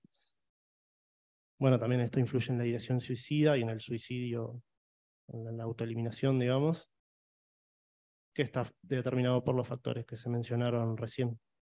Acá Da Silva eh, menciona esto de cortar con el sufrimiento, ¿no? Se hace tan insoportable que puede llegarse a ver como la única salida. Em, también se, en algunos estudios se habla de los desafíos y las barreras para acceder a la atención en salud mental. Esto se debe a prejuicios, eh, a falta de conocimiento también sobre la diversidad sexual y eh, hay un estudio que habla de los servicios de salud mental basados en Internet, que se hablaba recién, eh, que tienen un potencial para superar estas barreras. Acá se mencionan factores que facilitan y que inhiben la participación. Entre lo que facilita está la, privacidad y la confidencialidad, que es muy importante en comunidades pequeñas, rurales. Y eh, el factor, los factores que más se inhiben son la, la falta de acceso a una Internet de calidad, que es muy común en contextos rurales, y el, bueno, el desconocimiento de su, de su existencia. En un cuarto capítulo hablo de las implicancias del contexto rural en otras áreas de la vida de los hombres gays, y bueno, en otras áreas, momentos y ámbitos vendría a ser. Acá está la, familia y como la familia, este, como primer agente de socialización, se, supone que tiene que ser un entorno de, cuidado, de afecto, de seguridad, para poder desarrollar la identidad y todos los potenciales que tenga la persona. Pero en el caso de las personas de la comunidad LGBT, eh, es muy común que se transforme en un, entorno hostil. Una de las cosas que se fomenta en la familia, por ejemplo, sobre todo en entornos rurales, es el, ocultamiento, del que hablábamos recién. Y también se realizan esfuerzos por corregir la orientación sexual, eh, bueno, castigos y, demás. En las instituciones educativas eh, se da mucha discriminación, acoso, violencia, aislamiento, rechazo, y esto influye también en la salud mental, en la, autoestima, en la depresión, ansiedad, ideación suicida, ausentismo escolar y bajo rendimiento. En las amistades y las relaciones sexoafectivas, eh, uno de los problemas que se constató es la falta de espacio de socialización gay, que son espacios seguros donde poder expresar la identidad, eh, más en un contexto que es tan eh, represivo. Eh, bueno, esto genera sentimientos de soledad y de aislamiento social debido a la falta de estos lugares donde poder interactuar con personas que, con las que uno se identifique, ¿no? La falta de... Ah, las experiencias sexuales de, en la ruralidad de los hombres gays suelen ser clandestinas, a escondidas. También hay estudios que hablan de una cierta permisividad sexual. Eh, Santos, este autor que está ahí mencionado, habla de cómo muchas veces el gay del pueblo eh, se siente como obligado a, obedecer a los deseos del macho. Eh, y bueno, eso hace que se normalicen ciertas prácticas de dominación y, y, que se dé un sometimiento a vínculos que son tóxicos. O sea que las primeras experiencias sexuales, la exploración sexual, en los hombres gays eh, están marcadas por, por estos temas. Bueno, las redes sociales en línea muchas veces compensan la falta de espacios gays físicos de la que se hablaba anteriormente, ayudan a mitigar la soledad y la, sintomatología depresiva y pueden aumentar sentimientos de apoyo social percibido, sentido de comunidad y satisfacción con la vida. Y en cuanto a las, la exploración sexual, están las aplicaciones de citas, eh, con geolocalización como Grindr, que permiten desarrollar conexiones con otros hombres gays y explorar la sexualidad, que no están exentas eh, de, bueno, de los problemas que veníamos mencionando. ¿no? Eh, hay un autor, que ahora no recuerdo el nombre, que habla de que se extrapolan, eh, lo que se da en los espacios sociales físicos se extrapola a, los, a los espacios virtuales, ¿no? esto del ocultamiento, de la clandestinidad. Y, y bueno, son experiencias que están marcadas por eso. También tiene implicancias para el envejecimiento y la vejez. Bueno, la principal dificultad es el, desarrollo de una red de apoyo que ya se ve deteriorada en el transcurso de la vida y al llegar a la vejez eso está aún más decaído. Y en las personas que tienen redes de apoyo, eh, se trata de redes que se basan en la necesidad y muchas veces se deja de lado la aceptación de la identidad. Y esto termina afectando la salud de las personas el, dejar de lado la identidad por tener una red de apoyo. Esto genera aislamiento y soledad en la vejez eh, de, los hombres gays. Y bueno, se ve en las conexiones intergeneracionales un potencial para mitigar estas situaciones bueno, también tiene implicancias para la migración, el sexilio. Acá hay una autora, la única autora nacional eh, de, todos los trabajos relevados es Romina Martinelli, eh, que en su tesis de grado en el año 2014 habla de la, de la migración por, por motivos de orientación sexual y, e identidad de género, y es el trabajo más parecido al tema de este trabajo mío en Uruguay. Bueno, esta migración forzada se explica por procesos de marginación y exclusión que terminan siendo insoportables y la migración se da siempre hacia localidades más grandes, ¿no? hacia, hacia las ciudades. Em, termina siendo, la migración muchas veces termina siendo un factor protector porque hay menor control social y es más fácil desarrollar redes de apoyo y llevar una vida más satisfactoria. Bueno, el quinto capítulo habla de las, de las identidades gays y la visibilidad en la ruralidad. La aceptación de la propia orientación o identidad sexual no implica solamente al sujeto, sino que también envuelve a la familia y a la sociedad. Suele ser un proceso muy traumático, dice Santos, eh, y el, desarrollo de estas identidades en contextos rurales depende mucho de la producción de una visión más positiva hacia la diversidad sexual. Entre los factores que contribuyen a una visión más positiva están las conquistas legales, como el matrimonio igualitario, por ejemplo, la ley trans, la proyección de una imagen más amigable en los medios de comunicación masiva y no las eh, imágenes estereotipadas a las que estamos acostumbrados. También habla de los famosos que salen del closet eh, y pone énfasis este autor McKinney en los deportistas que salen del closet, el activismo político, social y cultural. Eh, todo esto, según el autor, genera como un contexto más amigable para poder desarrollar la identidad. Y dice también que a pesar de todos los desafíos y barreras que se tienen que enfrentar, la producción, desarrollo y expresión de identidades rurales es posible. Y también dice que la- las características de la vida rural pueden producir identidades que pueden ser diferentes a las identidades urbanas que ya conocemos. No sé si las consideraciones finales, no. Capaz que como consideraciones finales. Acá. Em, bueno, se cree que esta revisión puede contribuir a la difusión y consolidación del conocimiento disponible sobre gaycidad y ruralidad, y también puede servir como base para el desarrollo de futuras investigaciones a nivel local, que, son muy escasas.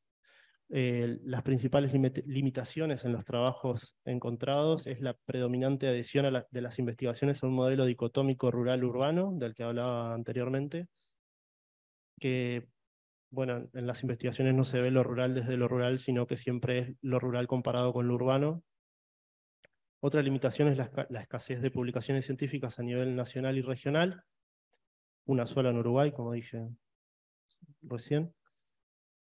Y eh, bueno, se constata que hay ciertas áreas que requieren de mayor atención, por ejemplo, la situación de las gaycidades rurales en momentos vi- vitales determinados, como la vejez, eh, la infancia, la adolescencia, la influencia de ser gay en el acceso al mercado laboral, las experiencias de las parejas de varones en la ruralidad, el potencial de los servicios de atención de salud mental a distancia para cubrir las necesidades de la población gay rural. Eh, estas aristas poco exploradas, si bien acá fueron planteadas como limitaciones, eh, en realidad son oportunidades para futuras investigaciones y bueno, ayudarían a seguir enriqueciendo el conocimiento que hay sobre la diversidad sexual en estos contextos rurales. Así que por ahí va. Gracias, gracias.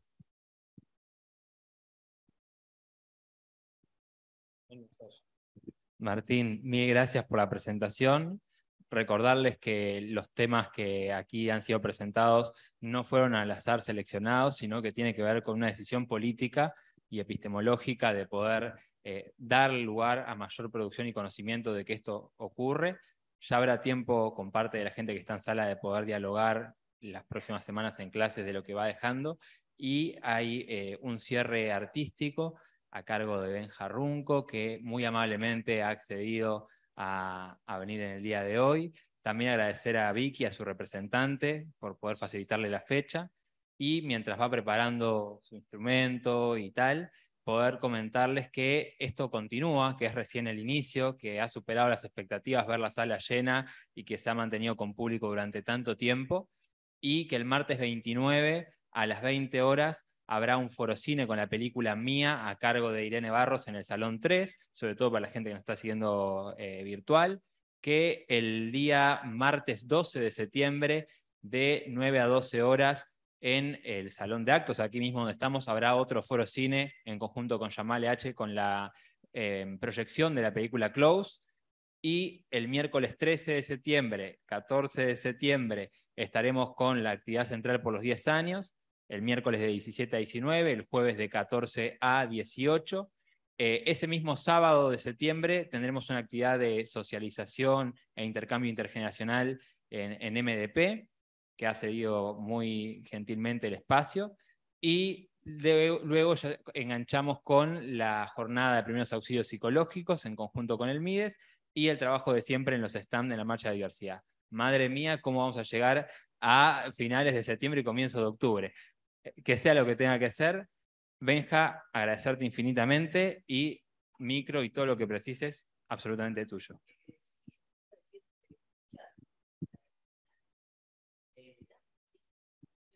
¿Querés dar- Vale, tranquilo.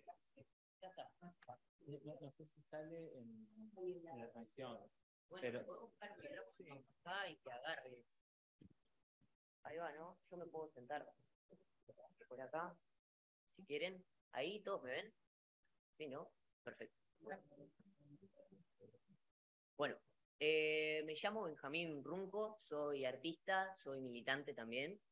Eh, milito con la música desde que tengo 18 años aproximadamente. Eh, empecé con todo el tema de la ley trans. eh, y bueno, nada, escribo básicamente para mí, para la comunidad. para que se puedan sentir identificadas con un artista que venga y que plantee las problemáticas que vivimos nosotros día a día. Así que, nada. Esta primera canción se llama Humano.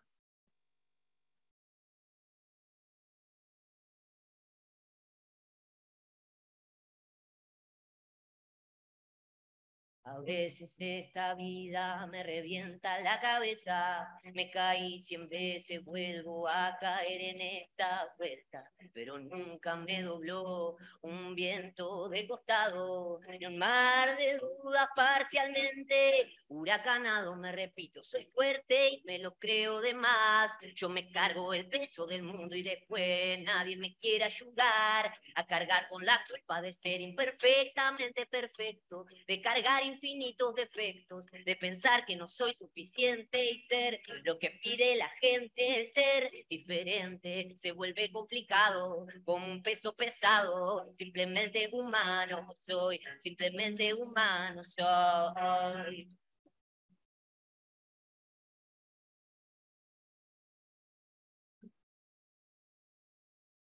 de máquina y no olvido, pero soy distraído, yo soy el fruto podrido y nunca me voy del nido, niño de mami con privilegio, bebé cuna de oro que fue a colegio, inseguro, vicioso, además de eso, yo subo y bajo de peso, mi crítica nunca es constructiva, es siempre negativa. Y si sigo abriendo heridas, yo sangraré mientras viva. Por eso respiro y prosigo a soltar. Esta mi historia la voy a contar. Yo soy simplemente humano, soy simplemente humano, soy.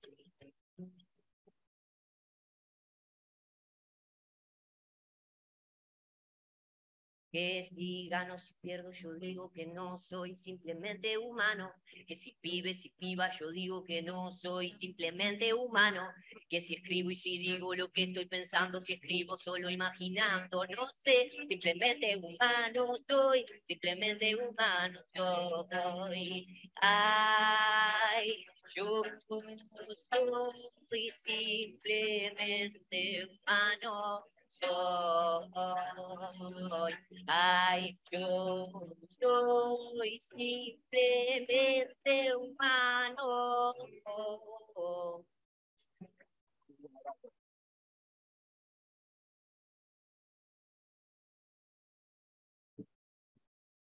Bueno, y terminamos entonces con una canción que se llama Candombe Manifiesta. Y bueno, nada, espero que les guste.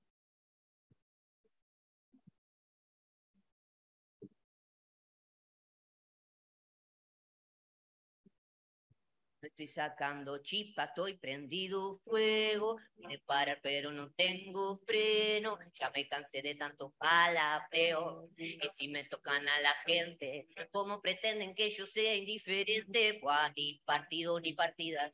Que las guachas puedan salir tranquilas. Que no se predique la hipocresía. Y que de ellos se encargue la policía. Ya entendí que pisan gente para estar arriba.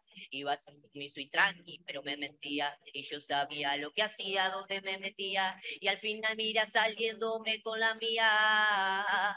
Pa' que los bailes se mueva y se atreva. Canto me manifiesta, se quema, se quema. Pa' que los bailes se mueva y se atreva. Canto me manifiesta, se quema, se quema. Pa' que los bailes, pa' que se mueva, pa' que se atreva. Buscando pepa, pa' que lo baile, pa' que se mueva, pa' que se atreva, que se atreva. Dame un segundo, do. Me están esperando con y.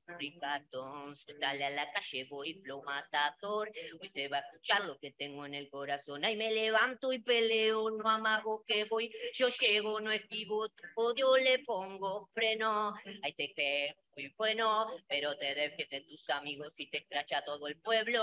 Hoy gritamos bien fuerte, armamos barullo. Hoy a mi vieja la lleno de orgullo, así que baile y mueva que el candombe manifiesta se quema, pa' que lo baile. Pa' que se atreva, pa' que se mueva, buscando pepa, pa' que lo baile, pa' que se mueva, que se mueva y que se atreva, pa' que lo baile, se mueva y se atreva, canto me manifiesta, se quema, se quema, pa' que lo baile, se mueva, se atreva, canto me manifiesta, se quema, se quema, es un candombe para manifestarse un candombe para nunca olvidar las voces que quisiste apagar cantando un candombe se van a manifestar.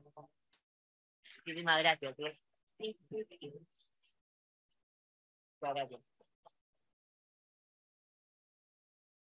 Ahí se escucha la transmisión, ¿no? Ahí va. Nada, agradecer por el espacio, por el tiempo también, por pensar en nosotros, eh, que está, bueno, artistas disidentes, eh, la situación está compleja hoy en día acá en el país, es difícil conseguir lugares para poder tocar, para estar presentes, y bueno, nada, muchísimas gracias por el espacio, y así, estamos cerrando, ¿no? Hay una segunda vuelta, es cierto. ¿Qué día era? Perdón. El miércoles 13. El miércoles 13 hay una segunda vuelta, voy a estar de vuelta. Y ahí capaz que, traemos alguna cosita diferente así y mostramos algo nuevo. Pero nada, quería, quería venir esta vez. En hora pautada, porque si no vamos a tener problemas. Por favor, muchísimas gracias. eh. Gracias enormes a vos, Benja. Repito el agradecimiento a Vicky.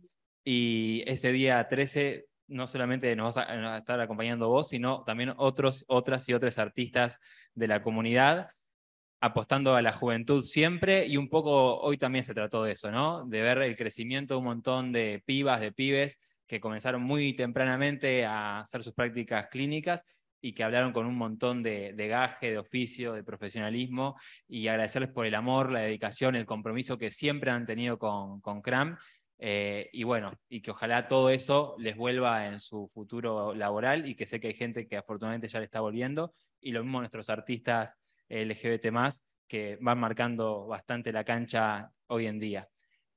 Así que cerramos por acá la actividad. Y el último chivo, perdón, eh, que agradecerle enormemente a Ana y a Marcelo de ProRen, que pobres quedaron allí. Ustedes habrán visto que había cinco momentos preestablecidos y estuvimos como eh, negociando en el medio de la actividad para que el protocolo de protección a las trayectorias escolares de estudiantes con diversidad de género sea presentado en el marco de la actividad central por los 10 años. En el caso este, el jueves 14 de septiembre llegaría el momento del, del protocolo. Así que gracias totales y bueno, un saludo a la gente que nos está siguiendo por YouTube, si es que se quedó alguien ya a esta altura, pero supongo que sí. Abrazo gente y nos vemos prontamente en, la, en el Forocine del 29.